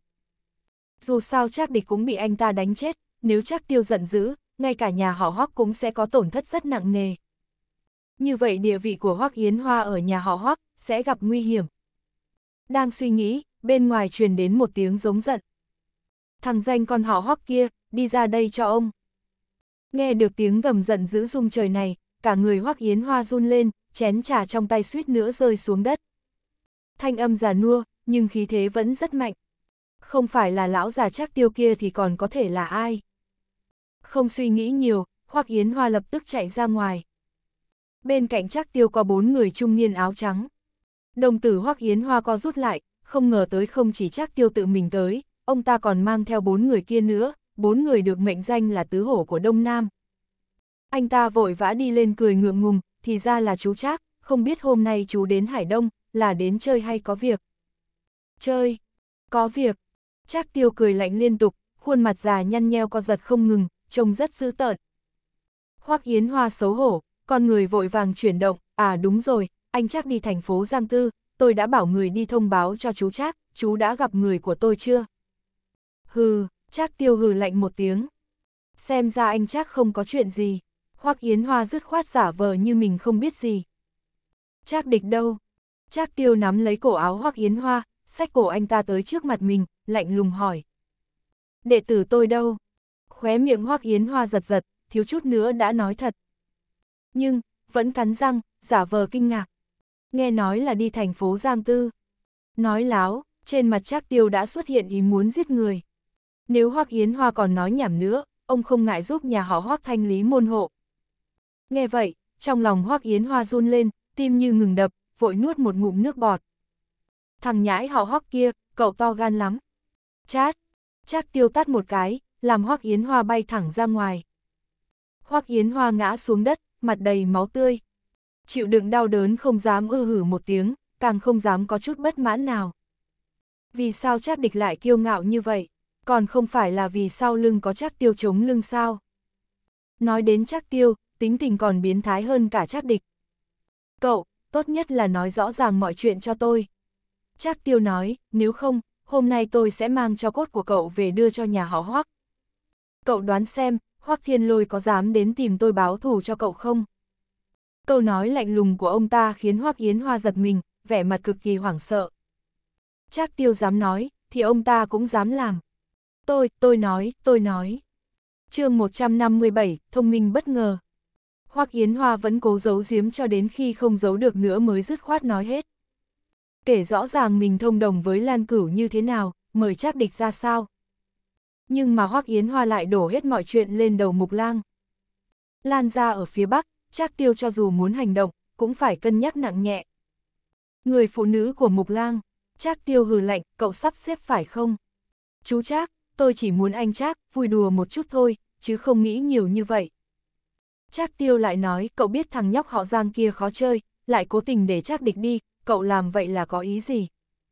Trác Tiêu sao có thể ngu xuẩn như Trác địch, nhìn một cái là đã nhìn thấu mưu mô của Hoắc Yến Hoa. Hoắc Yến Hoa nói, chú Trác tha mạng, cháu không biết ở thành phố Giang Tư có cao thủ. Không phải tên Giang Hải kia làm sao? Trác Tiêu nheo mắt lại. Hoắc Yến Hoa nói, Giang Hải này, không phải người bình thường. Nói xem không bình thường như thế nào. Anh ta là người của Bạch Gia ở phía Bắc. Ồ, Giang Hải, Bạch Gia ở phía Bắc, sao có thể thế được? Hoắc Yến Hoa lập tức cung kính nói, đây là sự thật. Sau đó anh ta nói hết chuyện giữa Giang Hải và Lan Cửu cho ông ta nghe. Trác Tiêu nghe xong, trầm mặc không nói.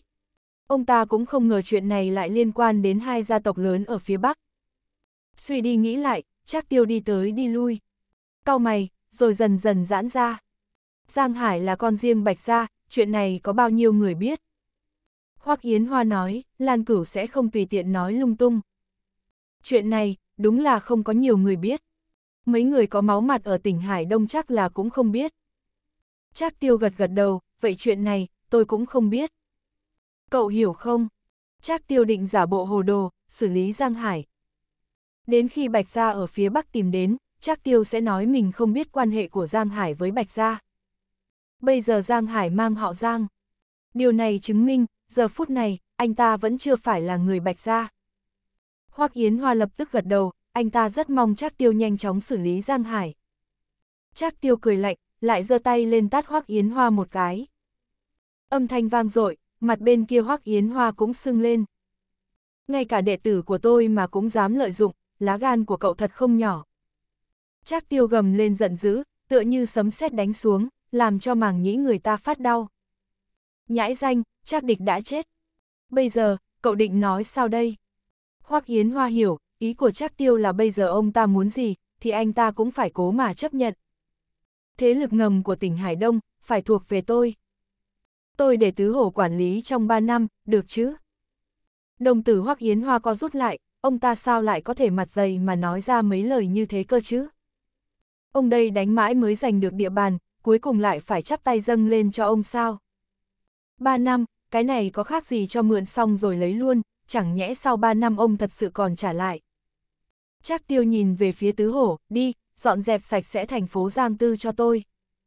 Hoắc Yến Hoa dương mí mắt lên, nhỏ giọng nói, chú Trác, thành phố Giang Tư là một nơi thị phi, vẫn nên cẩn thận một chút.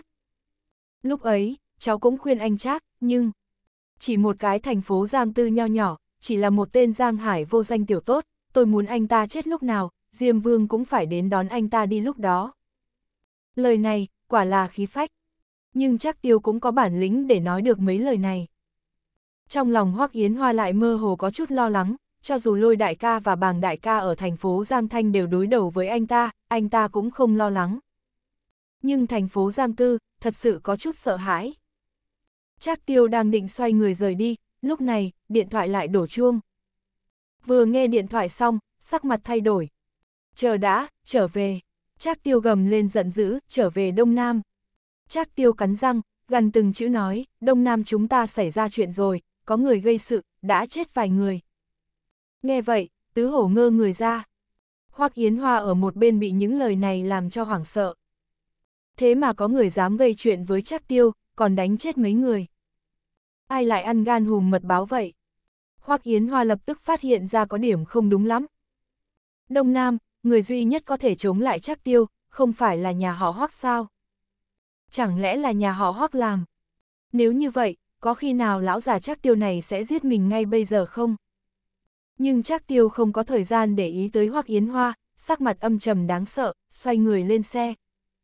Tứ hổ hỏi, anh Trác, có chuyện gì vậy? Trác anh chết rồi. Trác Tiêu không nói gì nữa, tứ hổ thì kinh ngạc đến nỗi cái cằm như muốn rớt xuống đất.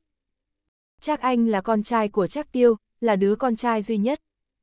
Bọn họ vừa mới rời khỏi một lúc thôi mà Đông Nam đã xảy ra chuyện. Trác anh thế mà đã chết. Con trai duy nhất của Trác Tiêu đã chết. Tất cả mọi người đang tự hỏi, ai đã làm việc này, là ai mà dám liều lĩnh như vậy. Có vẻ như Hải Đông và Đông Nam sắp có biến rồi. Có vẻ như có chuyện gì đó sắp xảy ra, không ít người bắt đầu nơm nớp lo sợ. Trên con đường cao tốc nối tiền tỉnh Hải Đông và Đông Nam, một chiếc xe bình thường lướt ngang qua xe của Trác Tiêu. Trên xe, bàng đại ca hơi híp mắt, lần chàng hạt trong tay, giống như đang siêu độ cho ai đó. Bàng đại ca tin Phật, không, ông ta không tin, chỉ là nhàn dỗi quá nên nhàm chán lần chàng hạt giết thời gian thôi. Nghiệp ra ở bên cạnh ánh mắt lạnh lùng, cẩn thận hỏi. Mà trên vạt áo anh ta, vẫn còn dính vết máu. Anh bàng, chắc tiêu sẽ mắc câu chứ. Bàng đại ca biến mất một thời gian, không ai biết ông ta đi đâu. Đương nhiên, cũng không một ai có thể ngờ được, cái chết của chắc anh, lại là do bàng đại ca và nghiệp ra ra tay. Ngày đó lúc Nam Chiến tìm bàng đại ca, cái kế hoạch này đã được bắt đầu. Bàng đại ca biết, chỉ mình Hoắc Yến Hoa muốn làm địch với Giang Hải thì không đủ tư cách. Cho nên, ông ta nhất định sẽ tìm người khác trợ giúp anh ta. Bàng đại ca và nghiệp gia lập kế hoạch chu đáo. Nghiệp gia vốn định ở lại thành phố Giang Tư, như vậy, kế hoạch giá hỏa cùng dễ dàng tiến hành. Đáng tiếc, có vẻ Giang Hải đã nhận ra cái gì, nên đã đuổi nghiệp ra đi. Nhưng điều khiến bàng đại ca không thể tưởng tượng được chính là, chắc tiêu lại đích thân đến thành phố Giang Thanh. Ban đầu, bàng đại ca nghĩ, Giang Hải sẽ đánh đám người chắc địch một trận tơi bời, chờ lúc bọn họ ra khỏi thành phố Giang Tư ông ta sẽ phục kích, trực tiếp làm thịt chắc địch, rồi giá họa cho Giang Hải. Ấy thế mà, Giang Hải không chút lưu tình. Lúc chắc địch rời khỏi thành phố Giang Tư thì chỉ còn là một hũ cho cốt. Cơ bản thì cố người biết chắc địch là đệ tử của chắc tiêu cũng không nhiều. Chắc tiêu muốn cho đứa đệ tử này tự mình gây dựng danh tiếng. Trùng hợp, bàng đại ca lại biết quan hệ giữa hai người. Chắc địch chết, chắc tiêu tất nhiên sẽ tức giận không kiềm chế được đến thành phố Giang Tư trả thù. Đông Nam cũng để mặc cho bàng đại ca có thể làm bất cứ điều gì mình muốn. Bọn họ cũng có đủ thời gian để giết chết chắc anh. Chắc tiêu sẽ nghĩ là ai làm đây? Bàng đại ca và chắc tiêu vốn không quen biết, muốn nghĩ cũng không nghĩ đến ông ta được. Cuối cùng, cho dù là chắc tiêu tức giận với nhà họ Hoắc hay là nhằm vào Giang Hải. Bàng đại ca vẫn là ngư ông đắc lợi. Ván cờ này, bàng đại ca chủ yếu là muốn gây ra mâu thuẫn, ông ta cũng không muốn Giang Hải giết chắc tiêu sớm. Chắc anh chết, chắc tiêu chắc chắn sẽ điên cuồng. Nếu như ông ta và Giang Hải gặp nhau, nhất định anh chết tôi sống. Tốt nhất là chắc tiêu nên kết hợp với Hoắc Yến Hoa đánh với Giang Hải cho đến khi cả hai bên cùng thua thiệt. Lúc này, ngay cả Giang Hải cũng không biết, đã xảy ra chuyện lớn như vậy. Mà người khởi xướng vẫn là bàng đại ca. Khi biết được tin tức phía đông nam, Giang Hải cũng sửng sốt một lúc. Cho dù nghĩ mãi mà vẫn không nghĩ ra, ai sẽ làm vậy vào lúc này. Giang Hải không muốn nghĩ chuyện này nữa. Anh cũng không quan tâm chắc tiêu cho lắm, chưa bao giờ nghe nói đến người này. Hơn nữa, có thể dạy ra loại đệ tử tàn ác máu lạnh như chắc địch, chắc tiêu cũng không phải người tốt lành gì. Nếu gặp phải, Giang Hải không chừng còn có thể trừ hại vì dân. Tôi vốn định giết chắc địch giá họa cho Giang Hải, ai ngờ, anh ta lại tự mình ra tay. Đôi mắt bàng đại ca thâm thúy, tràn ngập vẻ gian xảo. Ông ta có sợ Giang Hải không? Bàng đại ca tự hỏi mình, có sợ. Nhưng giờ phút này, bàng đại ca mất địa bàn ở thành phố Giang Thanh, thậm chí mất tỉnh Hải Đông, ông ta sẽ trở thành con chó bị bỏ rơi của gia tộc phía Bắc. Nhiều năm như vậy, ông ta đã biết quá nhiều, mà trước giờ chỉ có người chết mới bảo vệ được bí mật. Hai thủ đoạn nhẹ nhàng, cách làm hiện tại, là giải pháp tối ưu của bàng đại ca. Dù sao, ông ta vẫn phải bảo vệ tính mạng trước tiên. Bàng đại ca không hiểu Giang Hải, cũng không biết quan hệ giữa Giang Hải và Bạch Gia. Càng như vậy, ông ta càng kiêng kỵ. Ông ta vừa lợi dụng Giang Hải, còn phải tạo quan hệ tốt với Giang Hải. Giang Hải, có thể đối phó được với cơn thịnh nộ của Trác Tiêu không? Tính mạng của Trác Địch là khoản nợ được tính lên đầu Giang Hải. Nhưng dù sao anh ta cũng chỉ là đệ tử của Trác Tiêu, còn có thể dùng lợi ích để hóa giải thù hận. Nhưng chắc anh thì khác, anh ta là con trai ruột của Trác Tiêu, thù này không chết không hết. Giang Hải, cũng là người không thể lường được, bàng đại ca mỉm cười, không nói nhiều. Nghiệp ra gật đầu, Giang Hải chắc chắn là người ngoan độc. Bây giờ chỉ cần ngồi yên chờ thôi. Nghiệp gia nói, nếu nhất thời cục diện lâm vào bế tắc, chúng ta nên làm gì? Vậy phải xem tình huống cụ thể là gì? Bàng đại ca nói, chúng ta và Giang Hải liên kết, chưa chắc không phải là một nước cờ tốt. Vừa mới tính kế Giang Hải, bàng đại ca lại đang muốn đứng cùng phe với Giang Hải. Trong mắt bàng đại ca, chỉ có lợi ích. Nghiệp gia nói, đến bây giờ, chúng ta cũng không phát hiện Giang Hải có gia tộc nào ở phía bắc chống lưng, ngay cả Bạch Gia cũng không có. Bàng đại ca nói, có gia tộc chống lưng hay không, đối với Giang Hải mà nói cũng, có quan trọng không? Với thực lực của Giang Hải, không hề sợ Trác Tiêu và nhà họ Hoắc kết hợp. Nhưng, có thể giành chiến thắng hay không, không nói trước được. Chuyến này chúng ta đi Đông Nam, nếu như bị Giang Hải biết thì không thể lường được hậu quả. Sắc mặt nghiệp ra có chút căng thẳng. Anh ta biết, chọc giận Giang Hải, hậu quả rất nghiêm trọng. Bàng đại ca mỉm cười, bây giờ, chúng ta cứ làm rùa rụt đầu. Trở về thành phố Giang Thanh, tiếp tục chui vào vỏ là được rồi. Bàng đại ca túc trí đa mưu, nhưng muốn tranh đoạt địa bàn trong cái thế giới ngầm này, phải tàn khốc vô tình. Thời điểm đối mặt với cái chết, không thể qua loa được. Bất kể là bị tính kế, hay là tính kế người khác, đây cũng là chuyện bình thường. Khắp tỉnh Hải Đông và Đông Nam, không ít người đã nghe nói về chuyện này. Ai cũng biết mưa gió sắp nổi lên rồi. Không chỉ mà mưa gió mà còn là bão tố sóng thần luôn rồi. Lúc Trác Tiêu về đến Đông Nam đã là nửa đêm. Trong nhà, tiếng khóc nghẹn ngào không ngừng vang lên. Trên mặt đất, có vài thi thể đang nằm, bị trùm lại bằng một miếng vải trắng, máu loang lổ. Con, con của mẹ. Con chết thật thảm. Trác Tiêu lớn tuổi mới có con, vợ ông ta đang khóc vô cùng đau lòng, đã ngất đi mấy lần. Giờ phút này, bà ta đang ngồi trên ghế, ánh mắt ngơ ngác, miệng lẩm bẩm khóc nức nở, gương mặt trang điểm đậm, sớm đã bị nước mắt làm nhòe hết phấn son. Vén vải trắng lên, nước mắt Trác Tiêu rơi xuống. Trác Anh quả nhiên chết rất thảm. Máu thịt lẫn lộn, hai chân bị bẻ gãy theo góc độ quái dị. Trác Anh nằm trên mặt đất, cả người cứng ngắc lạnh như băng, mặt trắng bệnh, hai mắt vẫn mở to, tràn đầy hoảng sợ. Trác Tiêu đỡ chán, đứng không vững, thân thể run lên. Đúng vậy, đó là con trai ông ta. Nó đã chết rồi, thật sự chết rồi. Vươn tay run rẩy vuốt mắt cho Trác Anh. Trác Tiêu nắm chặt tay, từ trong khe răng bật ra mấy chữ, Giang Hải, tôi với cậu, thể không đội trời chung. chương 158, Bão Táp. Người giúp việc nhà họ Trác sớm đã bị dọa run rẩy cả người. Lúc bọn họ nhìn thấy thi thể Trác Anh, suýt nữa thì hồn bay phách tán. Mọi người đều biết Trác Tiêu hung tàn như thế nào, cả đám khúm núm sợ liên lụy đến mình.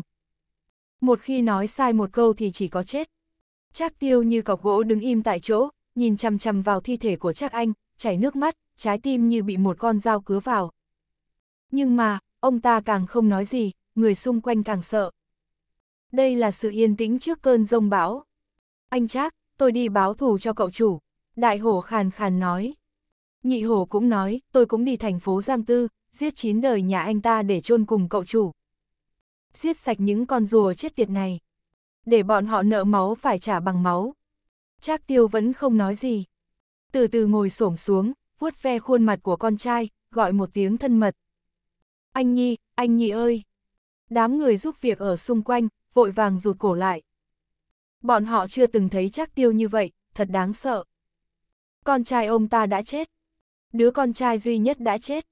Trác tiêu có khi nào đột nhiên phát cuồng, giết hết bọn họ không? Anh Trác, tứ hổ gọi tên ông ta rất to. Anh cứ để chúng tôi đi báo thù cho cậu chủ đi. Một lúc lâu sau, Trác tiêu mới đứng lên. Chuẩn bị tang lễ cho anh Nhi. Giọng nói khàn khàn, mang theo tang thương. Anh Trác, chúng tôi phải báo thù cho cậu chủ. Tứ hổ đồng thời gào thét. Ánh mắt Trác tiêu cực kỳ lạnh lẽo, hung hăng cắn răng, tang lễ của anh Nhi nên được cử hành ở thành phố Giang Tư. Tôi muốn tất cả mọi người trong giới ngầm ở thành phố Giang Tư, phải chôn cùng con trai tôi. Còn nữa, những người ở thành phố Giang Thanh, thì chôn cùng chắc địch. Tin tức giống như mọc cánh. Trời vừa sáng, đã truyền đến thành phố Giang Thanh. Tất cả mọi người của thế lực ngầm ở thành phố Giang Thanh, thậm chí là cả tỉnh Hải Đông đều run rẩy sợ hãi. Nếu như lúc trước có người không biết chắc tiêu là ai, giờ phút này, bọn họ đã được nghe nói đến cái tên này qua những câu chuyện của mấy người thích buôn chuyện. Huyền thoại một thời. Một huyền thoại giết người. Con trai của Trác Tiêu, đứa con trai duy nhất của ông ta, đã chết. Đệ tử của Trác Tiêu, đồ đệ duy nhất, đã chết. Một người chết ở thành phố Giang Tư, một người chết trong tay người ở thành phố Giang Tư. Kẻ giết người, là cùng một người. Từng có lúc, thành phố Giang Tư là một vùng đất không ai để ý tới, bây giờ lại trở thành tiêu điểm. Trở thành nơi đáng sợ nhất. Giang Hải đã từng buông lời đe dọa, ai dám đến thành phố Giang Tư gây sự, sẽ chuẩn bị cho người đó một phần mộ phong thủy đẹp nhất. Lúc này đây, tất cả mọi người đều cảm thấy, Giang Hải sẽ phải nằm trong mộ phần do chính anh ta đào lên. Không chỉ vậy, Trác Tiêu đã nói. Ông ta muốn thế lực ngầm của thành phố Giang Tư phải chôn cùng Trác Anh. Còn thế lực ngầm của thành phố Giang Thanh thì chôn cùng Trác Địch. Đám người ở thành phố Giang Tư này, đúng là không biết sống chết, như thế này là muốn nghịch thiên sao. Tất cả mọi người của các thế lực ngầm ở tỉnh Hải Đông đều cảm thấy bất an, nhao nhao xóa bỏ quan hệ của mình với thành phố Giang Tư. Thậm chí còn xóa bỏ quan hệ của mình với thành phố Giang Thanh. Những ai không có chút quan hệ nào vẫn cố gắng làm mình càng cách xa hơn. Cho dù nó có quan trọng hay không, cứ xoa bỏ quan hệ trước rồi nói. Có không ít người của thế lực ngầm ở thành phố Giang Thanh lén lút bỏ đi. Mà Hoắc Yến Hoa nhận được tin tức lại càng không ngủ được. Trác tiêu rõ ràng rất đáng sợ. Đó là người mà nhà họ Hoắc ở Đông Nam cũng không dám trêu chọc. Hoắc Yến Hoa không ngờ, Giang Hải lại cho người đi diệt hậu phương của Trác Tiêu, còn giết chết đứa con trai duy nhất của Trác Tiêu. Thật sự quá kinh khủng, thật to gan. Nhưng, anh ta vẫn thấy Giang Hải làm vậy là chán sống, là tự tìm chết. Ngay lập tức liên hệ với nhà họ Hoắc ở Đông Nam. Hoắc Thiên Lôi sao có thể không biết Trác Tiêu tàn nhẫn như thế nào. Để bảo vệ con trai mình, ông ta ngay lập tức gọi Hoắc Yến Hoa về nhà, rồi tự mình gọi điện chia buồn với Trác Tiêu. Dù sao, nếu hai bên khai chiến, thì sẽ là hai bên cùng chịu thiệt. Trác Tiêu cũng không muốn mất công đối phó với nhà họ Hoắc, ông ta cần tập trung nhân lực để san bằng thành phố Giang Tư. Trong một ngôi làng yên bình ở một vùng ngoại ô của thành phố Giang Thanh. Bàng đại ca mặc bộ đồ kiểu thời chiến quốc, không dính chút bụi bặm. Lúc này, đang ngồi bên đường chơi cờ tướng cùng mấy ông lão lớn tuổi. Nhìn qua không ai nghĩ bàng đại ca là người ngoài. Chỉ có đôi mắt nhanh nhẹn kia là thoạt nhìn không giống người bình thường. Nghiệp gia đứng cách đó không xa, dựa vào tường, trong miệng ngậm điếu thuốc, giống như một đứa lông bông không có việc làm. Anh bàng, tin tức Đông Nam đến rồi.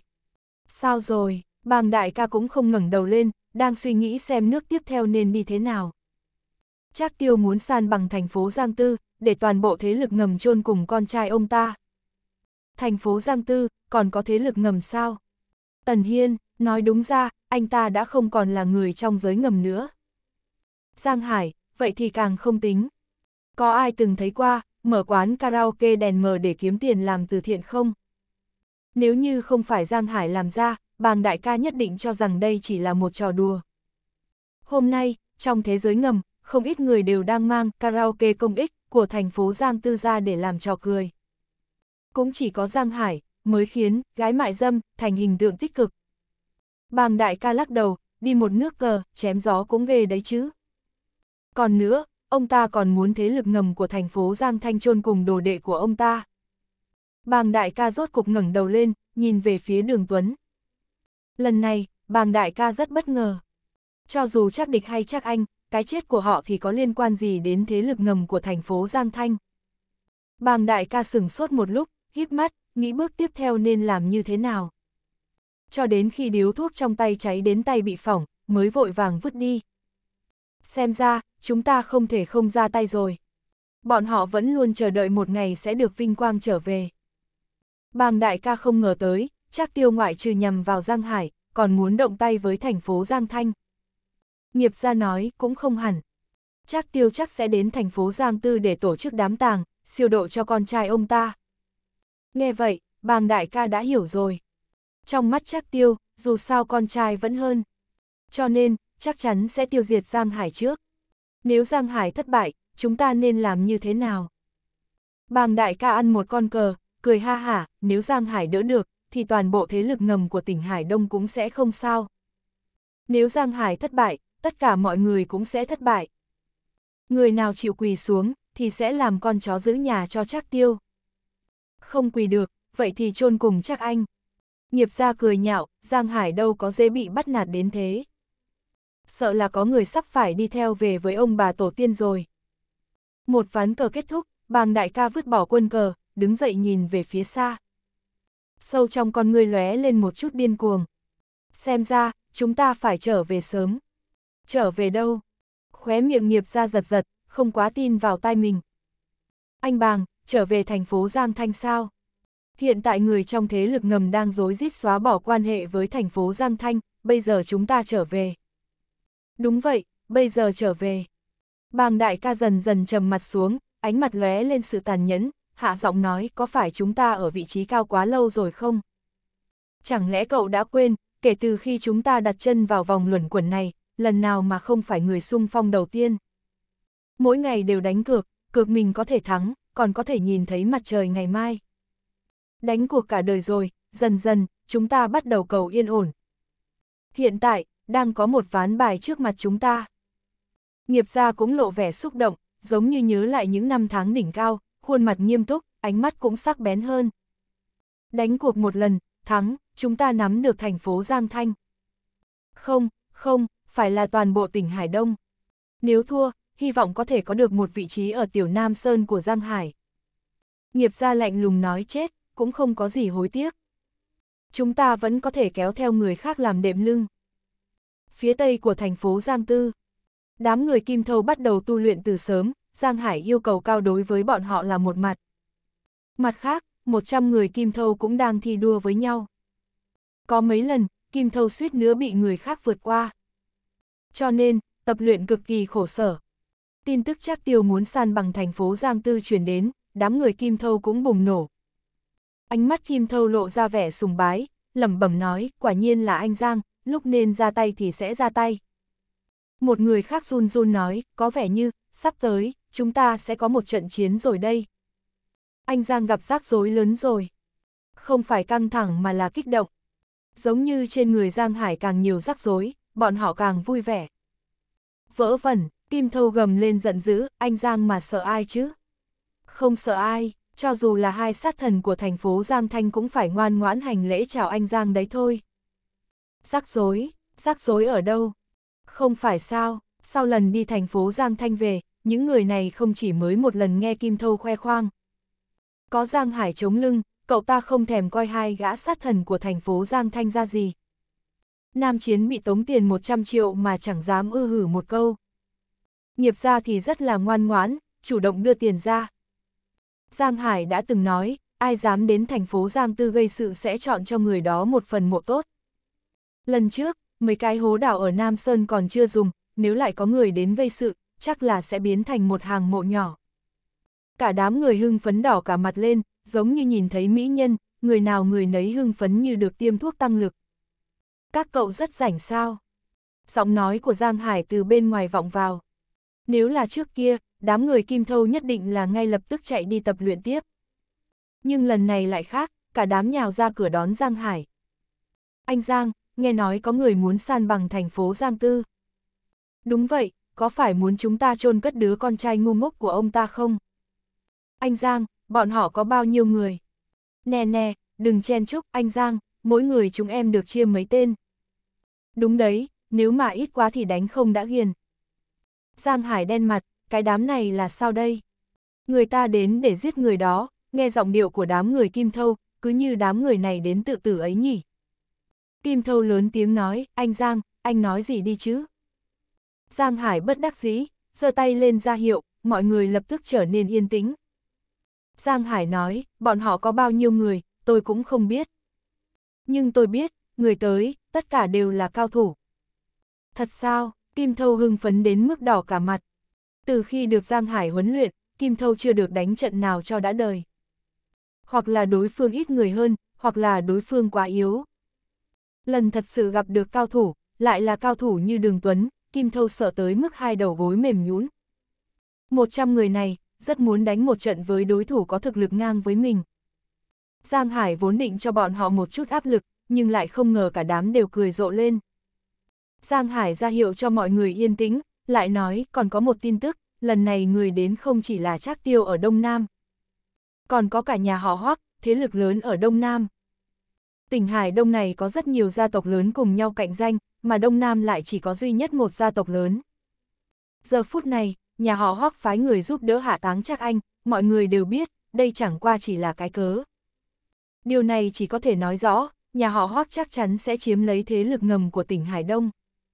Nếu là kết hợp ra tay, nhà họ Hoắc và Trác Tiêu, nhất định đã đàm phán xong việc chia chác lợi ích. chương 159, còn nữa sao? Trác Tiêu chỉ có một đứa con trai, vô cùng chiều chuộng. Thế mà bây giờ, đứa con duy nhất của ông ta lại chết trên tay Giang Hải. Trác Tiêu muốn tự đến thành phố Giang Tư làm tang lễ cho con trai. Tin tức này giống như một gáo nước lạnh, lan khắp tỉnh Hải Đông, làm mọi người run rẩy. Không chỉ có thế lực ngầm, mà tất cả mọi người cũng đang bàn luận sôi nổi về vấn đề này. Nếu một chắc tiêu còn chưa đủ làm tim đập nhanh, thì hành động đổ thêm dầu vào lửa của nhà họ Hoắc càng làm cho thế lực ngầm của tỉnh Hải Đông run rẩy. Đội ngũ đưa tang của chắc anh, từ từ đi thẳng tới thành phố Giang Tư. Phía trước, có hơn 10 chiếc xe phủ vải trắng, bầu không khí âm trầm, mang theo một luồng sát khí. Đây là người của Trác Tiêu. Mà cách đó không xa, ở phía sau, chính là người của nhà họ Hoắc, có hơn 10 chiếc xe giống nhau. Dọc đường đi bật nhạc tang, đi thẳng về phía thành phố Giang Tư. Trác Tiêu chính là muốn để mọi người biết, đắc tội ông ta sẽ có kết quả gì. Ông ta muốn tất cả mọi người nhìn thấy Giang Hải sẽ phải chết như thế nào. Kẻ nào dám động đến người của nhà họ Trác, sẽ phải trả giá bằng máu. Thế lực ngầm bùng nổ, giới chính trị và giới kinh doanh cũng nổi mây đen. Hoành Độ Dương đến tìm Giang Hải, khuyên anh tạm thời rời khỏi thành phố Giang Tư để tránh đầu sóng ngọn gió. Không phải ông ta sợ Giang Hải không đối phó được. Nực cười, nếu ngay cả đế vương cũng không đối phó được, thì thiên hạ này, không ai có thể khống chế được chắc tiêu.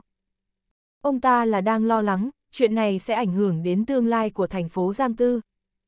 Nhưng Giang Hải không quan tâm việc này chút nào, hoàn toàn không để ý đến lời của Hoành Độ Dương. Hoành Thiên Giai ở thành phố Giang Thanh đang cười điên cuồng. Anh ta đã lên kế hoạch cả rồi, chỉ cần Giang Hải bị đánh bại, sẽ lập tức bắt đầu mua lại tập đoàn Uyển Như. Trở thành người đứng đầu tỉnh Hải Đông, không ai dám tự tìm phiền phức đi cạnh tranh với anh ta. Nhưng đúng lúc này, lúc Hoác Yến Hoa sắp rời đi, bóng dáng bàng đại ca lại xuất hiện ở thành phố Giang Thanh. Tuy không ít người đang thầm mắng bàng đại ca là con rùa rụt đầu, lúc Hoác Yến Hoa đến, giống như con rùa bỏ mặc anh em, chạy trốn một mình. Nhưng dù sao bàng đại ca cũng ở vị trí cao nhiều năm như vậy, giờ phút này xuất hiện, vung tay lên một cài là có vô số người đi theo. Mặc kệ nói thế nào, đi theo bàng đại ca, ít nhất vẫn còn được làm người. Hoắc Yến Hoa, quả thực chỉ coi bọn họ là chó, làm bọn họ vô cùng bức xúc. Trong thành phố Giang Thanh, bất kể đã từng là đàn em của lôi đại ca hay bàng đại ca. Lúc này, đều đi theo bàng đại ca, ông ta sai đâu thì đánh đó. Trang viên nhỏ của bàng đại ca, lại mở cửa trở lại. Giờ phút này, tụ tập không ít đại ca của các thế lực ngầm. Thậm chí, còn có không ít người ở xung quanh thành phố Giang Thanh cũng nhao nhao chạy tới. Bàng đại ca đang thưởng thức trà thơm, sắc mặt nghiêm túc, rũ mày gật đầu.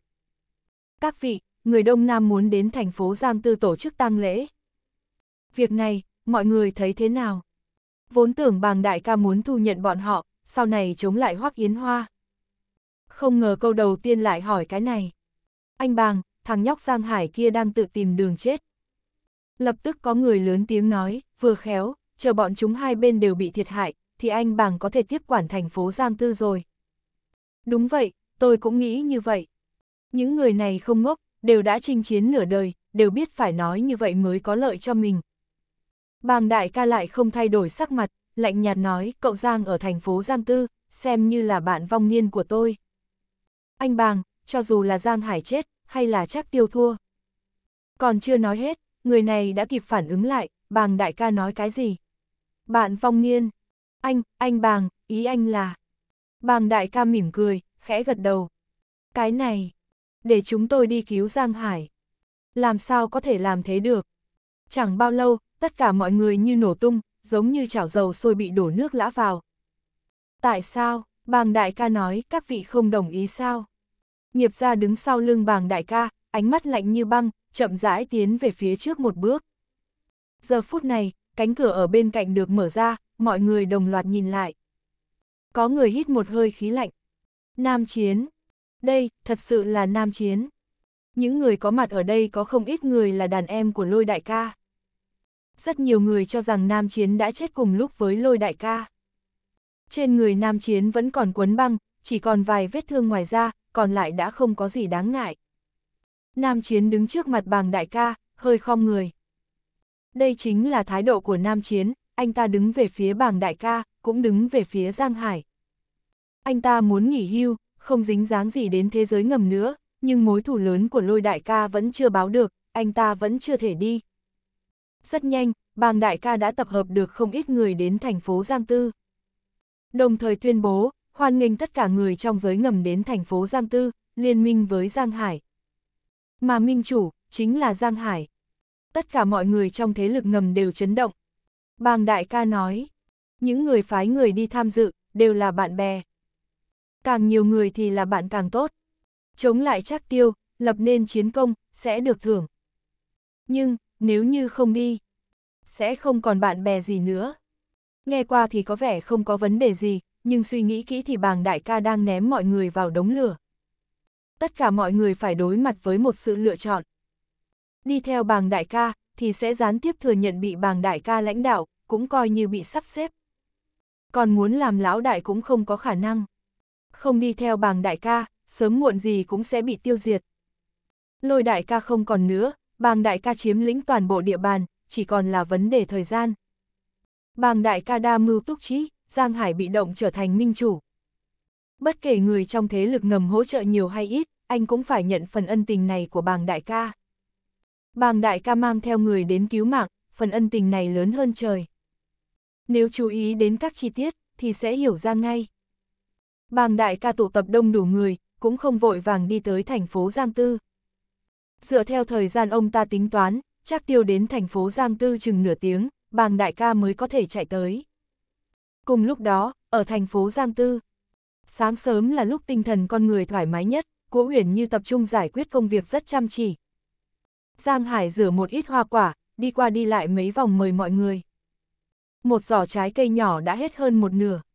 Một đám nhân viên nữ đỏ mặt xấu hổ nói, anh Giang, toàn ăn của anh, thật ngại quá. Một nữ nhân viên khác cười khúc khích. Cậu ăn cái gì của anh Giang cơ? Cậu cảm thấy là cái gì thì là cái đó. Tiếng cười duyên vang lên không ngừng, tiếp xúc một thời gian, mọi người cũng biết Giang Hải hay nói mấy lời thô tục, thật ra cũng không nói năng lung tung, vẫn rất tôn trọng bọn họ. Vậy nên cũng hay trêu chọc anh hơn, thậm chí rất nhiều lần còn khiến Giang Hải phải bỏ chạy. Anh Giang, anh xem, các cô ấy đều cô đơn lạnh lẽo, nếu như anh không ngại nhiều bạn gái, thì nhận làm vợ bé cả đi. Một đồng nghiệp nam mỉm cười. Giang Hải lắc đầu nói, văn phòng có nhiều phụ nữ, vậy ngày mai, tôi mời mọi người ăn quả thánh nữ nhé. Em muốn quả thánh nam cơ, anh Giang có không? Lại có người đùa giỡn, giọng nói làm cho người ta nổi da gà.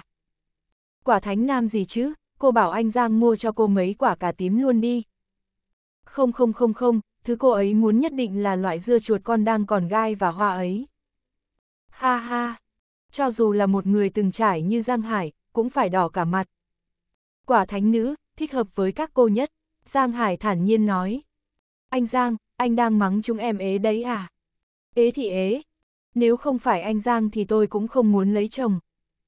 Đúng, không phải anh Giang thì thà không gả. Đồng nghiệp nam kia lại nghe ra ẩn ý của anh, lớn tiếng nói, ý anh Giang là các cô cứ ở đó mà mơ đi. Liên quan gì đến anh, tránh sang một bên. Trong văn phòng này, chỉ có một đồng nghiệp nam luôn là đối tượng bị trêu đùa. Giang Hải cũng không muốn tán dóc với các cô ấy nữa, mang hoa quả xoay người đi đưa cho cố Uyển Như ăn. Đồng nghiệp nam kia nói, các cô có biết quả thánh nữ là quả gì không? Thấy Giang Hải đã đi rồi, lúc này mới có nữ đồng nghiệp tò mò hỏi ý là gì? Quả thánh nữ, nếu nó vào rau, thì nó lại có thể ăn như trái cây. Nhưng nếu nói nó là trái cây, thì nó lại chỉ là một loại rau. Anh Giang đang nói các cô là rau, lại cứ làm như mình là quả. Nhàn nhã mang trái cây đi vào văn phòng cố Uyển Như. Cố Uyển Như rất bận rộn, đầu cũng không ngẩng lên. Trái cây rất tươi, vợ ơi, ăn trái cây trước đi. Biết rồi, thả đó đi, em sẽ ăn một chút. Chỉ chốc chốc, Giang Hải đi tới phía sau cô, nhét hoa quả vào miệng, mở miệng ra, a. Cố Uyển Như đỏ mặt, vẫn rất ngoan ngoãn mở miệng. Cảm ơn. Không có xương hô à. Cảm ơn, Giang Hải. Vợ ơi, thương lượng với em chút chuyện. Rút tài liệu trong tay Cố Uyển Như ra, Giang Hải vẻ mặt nghiêm túc.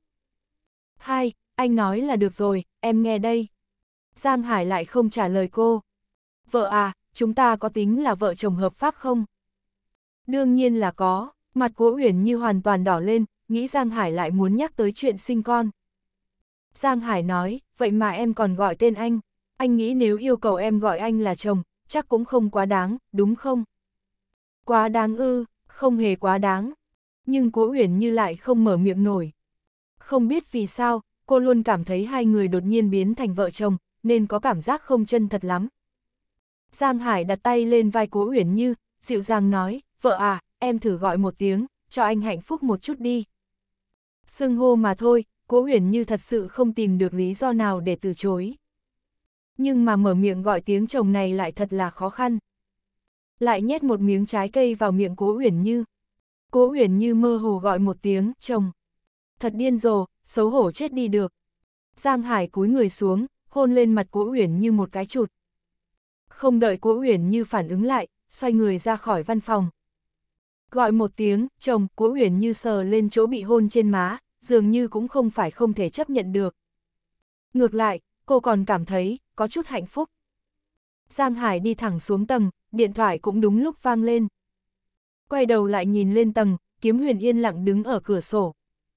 Có kiếm huyền ở đây, tập đoàn huyền như cũng không có gì phải lo. Anh nghe máy, là Tần Hiên gọi tới. Nghe được giọng nói của Tần Hiên run lên, có vẻ rất căng thẳng. Đây là chuyện bình thường, chắc tiêu không phải hạng người dễ bắt nạt, Hoắc Thiên Lôi còn là nhân vật lãnh đạo thế giới ngầm ở Đông Nam. Bọn họ đến chính là muốn thành phố Giang Tư máu chảy thành sông. Anh Giang, bọn họ đang trên đường tới. Đoán chừng không bao lâu nữa sẽ đến thành phố Giang Tư. Giang Hải ừ một tiếng, nếu có khách đến, chúng ta là chủ nhà, kiểu gì cũng phải ra dáng chủ nhà, phải ra ngoài thành chào đón mới đúng. Chúng ta cố gắng hết sức chuẩn bị tang lễ cho họ là được rồi. Tần Hiên không hiểu sao Giang Hải lại không lo lắng gì, chắc tiêu, Hoắc Thiên Lôi, hai vị này so với Đường Tuấn, Nam Chiến còn hung hăng hơn. Khi nghe nói chắc tiêu muốn san bằng thành phố Giang Tư, nếu không phải Tần Hạo kiên trì, suýt nữa Tần Hiên đã thu dọn đồ đạc bỏ trốn rồi. Anh ta, vâng, một tiếng. Giang Hải lại nói, những người này, quá xui xẻo, đừng để bọn họ tiến vào thành phố Giang Tư. Bọn họ đến cũng không có ý định trở về. Ra ngoài thành tìm một nơi có phong thủy tốt đi. chương 160, lại đến. Cúp máy, Giang Hải nhìn tin tức mới nhất vừa được gửi đến. Híp mắt, khóe miệng nở nụ cười nhàn nhạt. Bàng đại ca, ông cũng đừng đến muộn quá, nếu chỉ là quét dọn chiến trường, phần tình cảm này tôi cũng không nhận đâu. Ở phía tây thành phố, Kim Thâu đã sớm không nhịn được nữa rồi, cực kỳ hưng phấn. Giang Hải thong thả bước tới, phía sau chỉ có một mình thất hồn. Kim Thâu nói, anh Giang, chúng tôi đã chuẩn bị sẵn sàng. Đám nhãi này, quá chậm. Giang Hải nói, có bạn bè từ xa đến, chúng ta nên chào đón bọn họ như thế nào đây? Kim thâu gãi đầu, vẫn là anh Giang có văn hóa, chúng tôi không thể nói được những lời hoa mỹ như vậy. Một trận cười đùa vang lên, ai nấy đều đang rất háo hức, càng mang theo hưng phấn. Bọn họ đã bắt đầu xoa tay hồi hộp mong chờ rồi. Ra khỏi thành khoảng 30 cây số, các cô gái, ăn mặc đẹp một chút, đón khách. Tiếng nhạc buồn bi thương, cùng bầu không khí tang thương cực hạn đi nhanh đến thành phố Giang Tư. Trác tiêu ngồi trong xe, sắc mặt càng âm trầm đáng sợ. Người bên cạnh ông ta, ai nấy cũng vì bầu không khí mà không dám thở mạnh. Trong hai chiếc xe phía sau, mỗi chiếc mang theo một cỗ quan tài. Trong đó là thi thể của Trách Anh và Trác Địch. Trác Tiêu định dùng máu tươi của Giang Hải để tế cho vong hồn con trai cưng của mình. Ông ta muốn cả thành phố Giang Tư phải run rẩy, muốn mọi người phải chôn cùng con trai ông ta. Anh Trác, không thể để cho tên Giang Hải kia được chết tử tế. Đúng vậy, anh Trác, cậu chủ chết quá thảm. Vẻ mặt tứ hổ đau khổ, gân xanh nổi lên, sát khí đằng đằng. Nhất định phải để cho đám danh con đó muốn sống không được, muốn chết cũng không xong. Anh Trác, cứ giao cho tôi, tôi cam đoan sẽ để anh ta sống không bằng chết. Thủ đoạn tra tấn người của tứ hổ rất đa dạng, cực kỳ có kinh nghiệm. Bắt tất cả người nhà, bạn bè của tên họ Giang kia lại, tôi sẽ tra tấn chúng ngay trước mặt gã ta. Tôi muốn để cho gã ta tận mắt nhìn người phụ nữ của mình bị chúng tôi dạy dỗ như thế nào, ha ha. Bọn họ không chỉ là báo thù cho chắc anh, chắc địch, mà còn phải để cho mọi người biết, nhà họ chắc ở Đông Nam, không ai có thể chọc vào được. Đắc tội nhà họ chắc, sẽ có hậu quả kinh khủng như thế nào? Nếu như không thu phục được Giang Hải, nhà họ chắc sẽ trở thành trò cười. Tất cả các thế lực ngầm đều sẽ cảm thấy nhà họ chắc có thể bắt nạt, có thể tùy tiện bắt nạt. Trác tiêu cũng không nói nhiều, giống như một con rồng đang ngủ say. Trong mắt ông ta tràn đầy tơ máu, sát khí sôi trào làm cho nhiệt độ trong xe cũng giảm xuống vài phần. Đoàn xe phía sau là tất cả tinh anh của nhà họ Trác, nhà họ Trác dốc hết sức đào tạo ra, bọn họ đang bị đè nén đến cực hạn, một khi bộc phát ra, sẽ vô cùng đáng sợ. Càng không cần nói đến rất nhiều người mà nhà họ Hoắc sắp xếp đến hỗ trợ. Giang Hải cho dù có 100 cái mạng cũng không thể sống sót. Hai thế lực lớn nhất Đông Nam bắt tay với nhau, cho dù phải đối mặt với lực lượng của toàn tỉnh Hải Đông, cũng chẳng phải sợ. Thậm chí có thể dễ dàng quét ngang, san bằng thành phố Giang Tư hoàn toàn, hơn nữa còn có thể xóa bỏ toàn bộ thế lực ngầm của tỉnh Hải Đông. Trác tiêu nhìn ra ngoài cửa sổ, ánh mắt âm u, lãnh đạm đến đáng sợ, ngửa mặt lên trời, hai nắm tay siết chặt khẽ rung lên. Con trai, con ở trên trời nhìn cho kỹ. Cha sẽ giết hết tất cả đám người kia, để chúng phải bồi táng với con. Nhưng nếu như chắc tiêu biết, con trai ông ta chắc anh là do bàng đại ca và nghiệp gia giết, không biết ông ta sẽ cảm thấy thế nào. Lúc này điện thoại reo lên. Đại hổ nghe máy xong, sắc mặt nhất thời biến đổi. Anh Trác, lão già họ bàng đột nhiên xuất hiện ở thành phố Giang Thanh. Ông ta tụ tập không ít lực lượng, cũng đang đi tới thành phố Giang Tư. Nhưng mà, bọn họ đi chậm hơn chúng ta nửa tiếng. Chờ bọn họ đến, thành phố Giang Tư đã máu chảy thành sông luôn rồi. Hừ, sao tôi cứ có cảm giác, bàng đại ca này không phải là muốn chống đối lại anh Trác, mà là đến để chờ chúng ta đánh nhau hai bên cùng mệt mỏi rồi nhảy vào kiếm lợi. Trác tiêu gật gật đầu, không trả lời. Đối với ông ta mà nói, bàng đại ca chỉ là một tên hề đang nhảy nhót. Nên lúc này ông ta cũng không quan tâm đến sự tồn tại của bàng đại ca.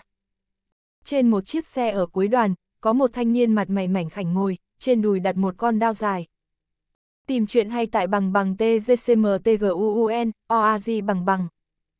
Lúc này đang cầm ly rượu đỏ trong tay nhấm nháp. Tay kia đang cầm điện thoại. Anh Hoắc, sắp tới thành phố Giang Tư rồi. Tôi nghe nói bàng đại ca cũng đi thành phố Giang Tư. Đầu dây điện thoại, Hoắc Thiên lôi trầm giọng hỏi. Thanh niên cười nhạt, anh Hoắc, lão già họ bàng kia, cũng chỉ là một tên lợi dụng thời cơ thôi. Chậm nửa tiếng, hoa cúc đã héo, đồ ăn đã nguội. Chỉ cần không ngốc cũng có thể nhìn ra được, bàng đại ca chỉ muốn đến dọn dẹp tàn cuộc. Nếu Giang Hải thắng, ông ta là đến để hỗ trợ, phần ân tình này, Giang Hải không nhận cũng phải nhận. Nếu chắc tiêu thắng, bàng đại ca lại đại diện cho thế lực ngầm của tỉnh Hải Đông đến đầu hàng. Hoắc Thiên lôi lại nói, ân oán giữa Trác Tiêu và Giang Hải đừng xen vào. Chuyến đi này, cậu phải cắm dễ được ở thành phố Giang Tư, hiểu không? Thanh niên đáp một tiếng, lại nói tập đoàn Uyển Như.